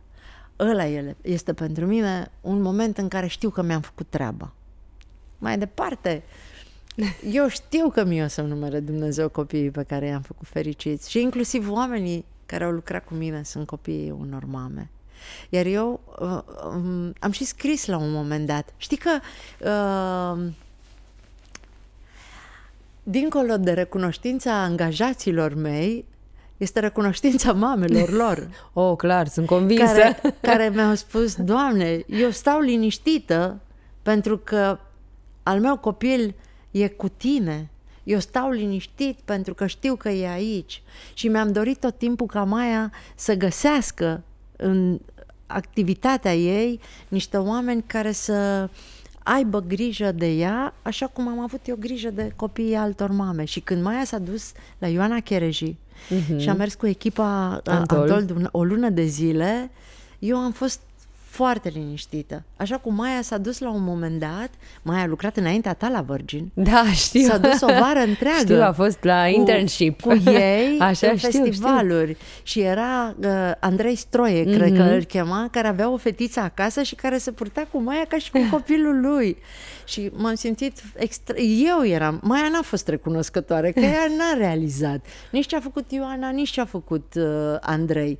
Dar eu am fost foarte recunoscătoare pentru că doi oameni au avut grijă de copilul meu. Și e foarte important, poate cel mai important, să simți că, adică ești un fel de mama a tuturor, practic, și clar prietena tuturor mamelor, cel puțin din această țară, asta este mai mult decât, decât sigur. Vreau să încheiem uh, subiectul uh, Gașca Zurli, dar cu promisiunea că abia mm, așteptăm să vă revedem pe scenă. Sunt uh, um, în momentul ăsta deschisă spre tot ceea ce o să vină și așa cum spuneam, o să mergem în țară cu mascotele mm-hmm. și cu mhm. Maia și încerc să fac ceea ce am promis. Visul meu, și o, o să-l spun că nu cred că am mai vorbit despre asta, este ca în 2026, când Zurli face 20 de ani, să fac cel mai mare spectacol pe arena națională, unde să adunăm toți oamenii care au trecut pe la Zurli, angajați, colaboratori și să vină în uh, gradene, în uh, stadion, toți cei care au fost o secundă din viața lor, Zurli. Suntem foarte mulți, să știi, Știu, să te dar pregătești. Și, dar și stadionul e mare. și stadionul e mare, dar, dar și până, noi suntem dar mulți. Dar până atunci aș vrea să ajungem în orașele mici în care eu uh, mi-am promis că ajung, pentru că simt așa că am, am cam tras chiulul. În ultima perioadă ai uh, făcut uh, niște schimbări în viața ta. Da despre care vorbești cu atâta pasiune și cu atâta Nu vezi că m-am și, re- entuziasm. m-am și repozi- Uite. repoziționat. Cât mai am vorbit despre zurile, am stat așa cu minte pentru că uh, nu depinde de mine. Așa cum spuneam, mm. cred foarte tare că, Doamne, Doamne, o să-mi arate încotro trebuie să duc povestea asta. Dar, Dar când vorbim acum- despre schimbările pe care eu mi le-am asumat și le-am făcut, sunt foarte fericită să-ți spun că uh, 2024 este un an de restart pentru mine. De unde a Și- pornit acest restart? De unde... De nicăieri? De nicăieri, pur și Ok. simplu, așa mi-a venit. De câțiva ani încoace uh, muncesc la uh, cea mai bună variantă a mea. Îmi doresc foarte tare să îmi acord mie atenția uh, și timpul pe care nu mi le-am acordat niciodată și uh, să încep să mă bucur de lucrurile simple și de ceea ce eu pot să îmi ofer mie um, fără să fie nevoie de foarte multe artificii. Hmm. E un fel de America Express uh, impus, uh, Impus, de tine. Da, da, da, da, da, da, da, da, da, da, da. Uh, Care a fost primul lucru pe care l-ai uh, uh, schimbat odată cu această dorință ta? Păi, în primul rând, am început să fac 10.000 de pași oh, în fiecare zi. Bun. Pentru că mi-am dat seama la un moment dat că m- m-am uitat în uh, aplicația din telefon și aveam vreo 1500 oh. și am zis nu se poate asta. Poate Mă era mut- stricat telefonul. Da, nu, nu, nu, nu, nu, nu, nu. Și mi-am dat seama că nu pot să rămân așa și am început să merg pe jos, să devin atentă, de fapt, la faptul că nu uh, fac suficientă mișcare și să merg pe, uh, pe jos și fac acum 10.000 de pași în fiecare zi și vreau să fac din asta o mișcare socială pentru că sunt foarte mulți oameni care fac asta împreună cu mine. Am fost foarte încântată să descoper că Ana Maria Brânză face 10.000 de pași și postează și îmi dă tag că uh, mi-a dat tag Camelia Potec care făcuse 16.000 de Iată. pași și atunci am zis, wow, dacă femeile astea care au fost au câștigat olimpiade, uh, mă iau în serios, înseamnă că eu chiar... uh, Și cred că ăsta va fi următorul fenomen pe care eu o să-l fac, pentru că este un mod de a face mișcare fără să fii condiționat de competiție, Mhm. spre deosebire de maratonul la care se aleargă, de echipament, adică au acces și oamenii simpli care nu au un echipament de sport, sunt foarte mulți, o să te miri. Așa este, Oameni știu. care nu au un echipament de sport, uh, poți să mergi și în blugi, poți să mergi oriunde, poți să mergi cu oricine și poți să faci pauze. Important e ca la sfârșitul zilei tu să Ai aduni zice- acei 10.000 de pași. Stai că sunt curioasă să văd cât am astăzi, că Ia, sunt foarte, hai, foarte hai curioasă. Ia vedem. să facem câți ai challenge. Tu și câți am eu. nu m-am gândit că făceam mai mulți. Păi nici Dar eu nu n-am m-am putut să gândit, tac, dar stai așa Dar mi-a puțin. trebuit, dar stai să se deschidă aplicația. Ia uite, acum nu se mai deschide. Ba da, stai. Uite, până la această oră, 8750. Fa. Ia, Bine, Giulia, stai așa puțin hai. că mi-e rușine acum. Nu știu de ce m-am gândit să facem asta. Adică puteam să stau liniștită. Hai, hai, hai, hai. Imediat. Ideea este că uh, a devenit pentru mine un obicei extrem de important. Asta e primul lucru pe care l-am schimbat Mhm. în felul în care uh, mă raportez la mișcarea fizică. Pe urmă am uh, um, renunțat la casa Da. în care stăteam. Hai. Hai. Că nu e bine. Adică am crezut că o să fie bine. Mă rog, dar nu e A, rău. E foarte bine. Nu e nici rău. Păi Te eu fac, alinți. eu fac 2000 de pași până plec de acasă dimineața. Te Fac prin alinți. toată casa așa. Da, da. Nu, fac uh, în proporție de, nu știu, 90%. Am oricum peste 8000 de pași pe zi. Am zile când depășesc asta fără să 10.000. fii atentă. Fără să fiu atentă. Și fără să-ți propui Fără asta. să-mi propun, nu, nu. E, Bravo. păi trebuie să mă mișc pentru că altfel ruginez și mi-am dat seama de curând. Bravo. Așa, și apoi uh, ce ai schimbat? Am, mi-am schimbat casa. Casa. Da, stăteam într-o chirie, într-o casă prea mare pentru mine și m-am mutat într-un spațiu mult mai mic, pentru că mi-am dat seama că ajung acasă doar să dorm și că urmează o perioadă în care voi călători foarte mult și n-am de ce să uh, țin. Am, știi, am început să devin foarte atentă la... Uh, am sentimentul că lucrurile din jurul meu au suflet și mă gândesc că merită să fie iubite și folosite de Și oameni. ele. Da. care să le aprecieze uh, și atunci prefer să le dau mai departe și chiar am făcut din asta uh, un hashtag cu dau mai departe și apoi am renunțat la uh, haine și accesorii pentru că probabil te afli în aceeași situație. Da, clar mă aflu. Da, noi primim foarte multe lucruri și oamenii trebuie să înțeleagă asta. Uh, în momentul în care ai o campanie și uh, trebuie să prezinți uh, niște perechi de pantofi, de cele mai multe ori pantofii aceia îți rămân ție. Și uh, același lucru se întâmplă și cu niște haine, și cu niște Așa poșete, este. și cu niște creme, și cu tot felul de lucruri. Și sunt foarte drăguțe brandurile și Uh, E foarte important pentru uh, cei care fac afaceri să aibă susținerea celor care că îi, îi promovează, că asta este legea Așa e. uh, economiei, doar că noi la un moment dat ne trezim cu foarte multe produse în casă. Și eu am ales să păstrez doar strictul necesar și să uh, le dau mai departe, le-am donat toate um, celor din jurul meu, am dat pe Facebook lucruri, am uh, mers la mama, doamne, deci m-am dus la mama în ziua de Crăciun cu mașina plină de huse și de Vai. valize, cu poșete, cu tot ce...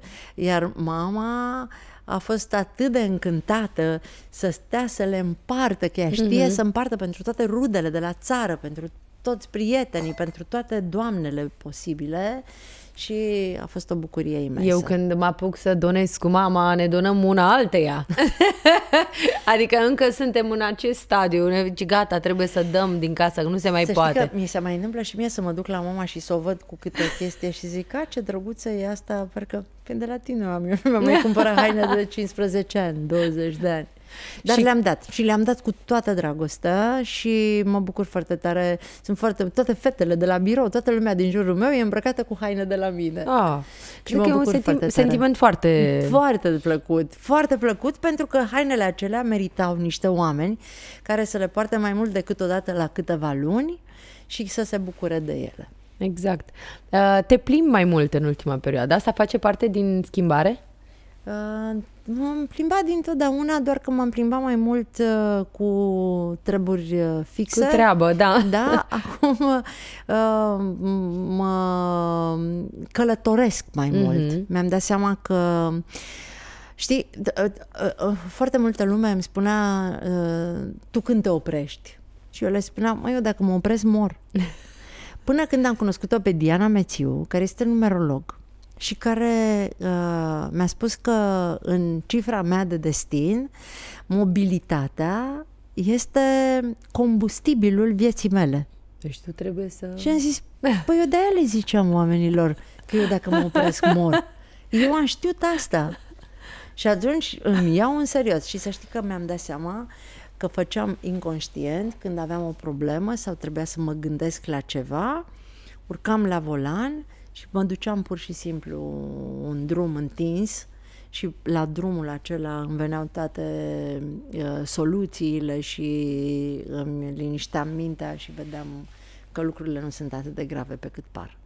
În, întotdeauna lucrurile sunt convinsă că sunt, uh, nu sunt atât de grave precum uh, le percepem noi sau uh, uh, nu au uh, atâta importanță câte le dăm noi. În momentul ăla Uh, Dar, uh, bine, trebuie să și ajungi să conștientizezi uh, acest lucru. Vreau să...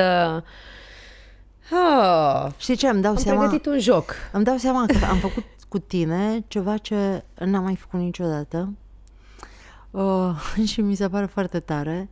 De regulă, când sunt invitată la podcasturi sau la interviu, fără să-mi dau seama, fac schimb de roluri. Și încep eu să... Și mi-am dat seama că nu ți-am pus nicio întrebare. Atunci Că- eu nu pot decât să mă bucur. Da, acum mi-am dat seama că este, m- am văzut așa, am sim, m-am văzut cum m-am așezat și așteptam următoarea întrebare. Și a zis, alo, în ca că eu cu mine vorbesc, noi suntem două persoane acum la podcast, știi? Eu cu mine îmi zic mie, ce faci, doamnă? Dar stăteam așa, știi, zic, ok, hai să vedem, ce mă mai întreabă Giulia? Pentru că au fost foarte drăguțe întrebările tale Mulțumesc. și uh, au trezit uh, emoții și amintiri foarte frumoase în mine. Să știi că nu am avut uh, scris nimic aici. deci am făcut, uh, am citit foarte mult, Să știi că și eu mai fac așa. uh, citesc foarte mult uh, despre invitat înainte să ne întâlnim. Și pe urmă ce rămâne, aia Am e. o memorie fotografică, vizuală, cum se zice păpu? Vizuală. Vizuală. Pot să confirm că așa Așa. Așa este, are Îmi o memorie rămâne vizuală extraordinară. tot ce este important. Dacă citesc v-ați pe uitat la America diagonal. Express... Stai că uh, așa vorbește peste mine. Așa, spuneți. Dacă, dacă m-ați văzut în America Express, da, eu. Uh, Citesc pe diagonală, așa m-a învățat tata să citesc când eram mică. Ok. Și atunci asimilez mult mai repede informațiile dintr-un text. Și uh, uh, la fel cum mi s-a întâmplat de cele mai multe ori, uh, m-am lăsat uh, dusă de val și de energie Inspirație. Și de inspirație. Dar am făcut un joculeț la final. Avem uh, o serie de întrebări care Așa. se numește Pe repede înainte. Așa. Trebuie să-mi răspunzi super repede cu primul lucru care îți vine în minte. Nu știu, nu mă, pri- eu nu mă pricep la jocuri așa cum te pricepi tu. Ok. Nu știu dacă o să reușesc să te surprind, o să încerc. Ok. Dar întrebările sună cam așa, nu sunt nici multe, e ok. Dacă ar fi să-ți descrii personalitatea folosind un aparat de bucătărie, care ar fi acesta? Uh, mixerul. Uh, Care este cel mai ridicol lucru pe care l-ai cumpărat vreodată? Fă, un tirbușon, cred că. Nu-ți folosește sau de ce? Arăta foarte ciudat. Uh, cum arată la tine o duminică leneșă? Nu există. Dacă ai fi blocată pe o insulă pustie, care ar fi cele trei lucruri care nu ți-ar lipsi? Um, creativitatea, um, curiozitatea și disponibilitatea de a găsi niște băștinași care să se joace aram zam zam sau am o căsuță mică uh, cu mine. Care e cea mai ciudată combinație de alimente pe care ai mâncat-o? Uh, scorpion cu nu, pâine. acum? Când ai fost în... Ah, nu, al, de când am fost Ah, în Thailanda. Au, de, de ce mai mâncat? Nu pe tine, sunt alții. Erau prietenii mei. Da, da, erau frații tăi de zodie. Dacă ai putea să mănânci un singur preparat culinar pentru tot restul vieții, care ar fi acela? Avocado. Oh, bun, bun. Uh, care a fost jocul uh, preferat al copilăriei tale? Um, nu te supăra, frate. Ce melodie ascultai pe repeat atunci când te-ai îndrăgostit prima oară? Da, cred că dragostea... Nu, nu dragostea din tăi. Stai să mă gândesc. A, știi ce ascultam pe repeat când m-am îndrăgostit prima oară? Se la vi. Uh, Da, cine are dreptate mai des, tu sau Maia? eu. Și ultima Bine, întrebare. nu, eu, eu, eu zic că am dreptate, dar Maia are dreptate. Adică Maia mă lasă să zic că am dreptate, dar ea are dreptate. Ah, ok. și ultima întrebare. Um, ce îi spune dacă ai putea Mirelei de la 20 de ani? Fetiță, calmează-te, stai liniștită, oricum ceea ce trebuie să ți se întâmple, o să ți se întâmple și tot ceea ce vine spre tine, primește cu brațele deschise, pentru că meriți tot ceea ce ai primit deja. Mirela, îți mulțumesc din suflet. Și eu îți mulțumesc că a fost o mare plăcere pentru mine Și pentru mine. te aștept la Europa FM, la Schimbă Perspectiva, să apuc să pun și eu niște întrebări. Nu, eu sincer mă așteptam să mă întreb ceva, dar mm, Sincer, Da. și eu mă așteptam să, mă, să te întreb ceva. Deci m-am așezat atât de bine în uh, postura de invitată, așa, așa de tare m-am încrezut în ce ai spus la începutul acestui podcast, că uh, pur și simplu n-am mai fost atentă când să prind o pauză de respirație ca să te întreb ceva. Știi, nu știu dacă ți-am povestit, eu făceam interviuri în anii 90 cu Iliescu, cu Vadim, cu tot, tot, toți politicienii aia și țineam microfonul și uh, oamenii ăștia, politicienii, vorbeau într-una, nu făceau nicio pauză și erau în direct cele mai multe dintre discuții și mă gândeam la un moment dat cum ar fi dacă pur și simplu aș da cu microfonul, ca și aș continua Că nu am alte altă variantă. Să se oprească. Nu, m-a, nu mi-a trecut niciun astfel de gând prin cap. Te aștept la Europa să vedem ce se întâmplă. Vin cu mare drag, eu îți mulțumesc. Papu, mulțumesc frumos! Papu, aici. Mulțumesc frumos uh, pentru că mă simt mai antrenată pentru uh, o excursie în junglă după ce am fost la voi în studio. Uh, deja uh, au devenit mult mai ascutite simțurile mele. Stau atentă să văd ce sună, de unde vine și care e pericolul. Nu Vă se mai iubesc. întâmplă nimic, te iubim și eu îți mulțumesc din suflet. Um, și sunt extrem de recunoscătoare că ești parte din viața mea și a copiilor mei uh, și că și că ai făcut atât de multe lucruri frumoase pentru tine în primul rând și pentru Exact. noi toți ceilalți pe Exact, urmă. pentru mine în primul rând, pentru că nu- trebuie să recunoaștem că tot ceea ce facem întâi trebuie să treacă prin noi ca să poată să plece la ceilalți.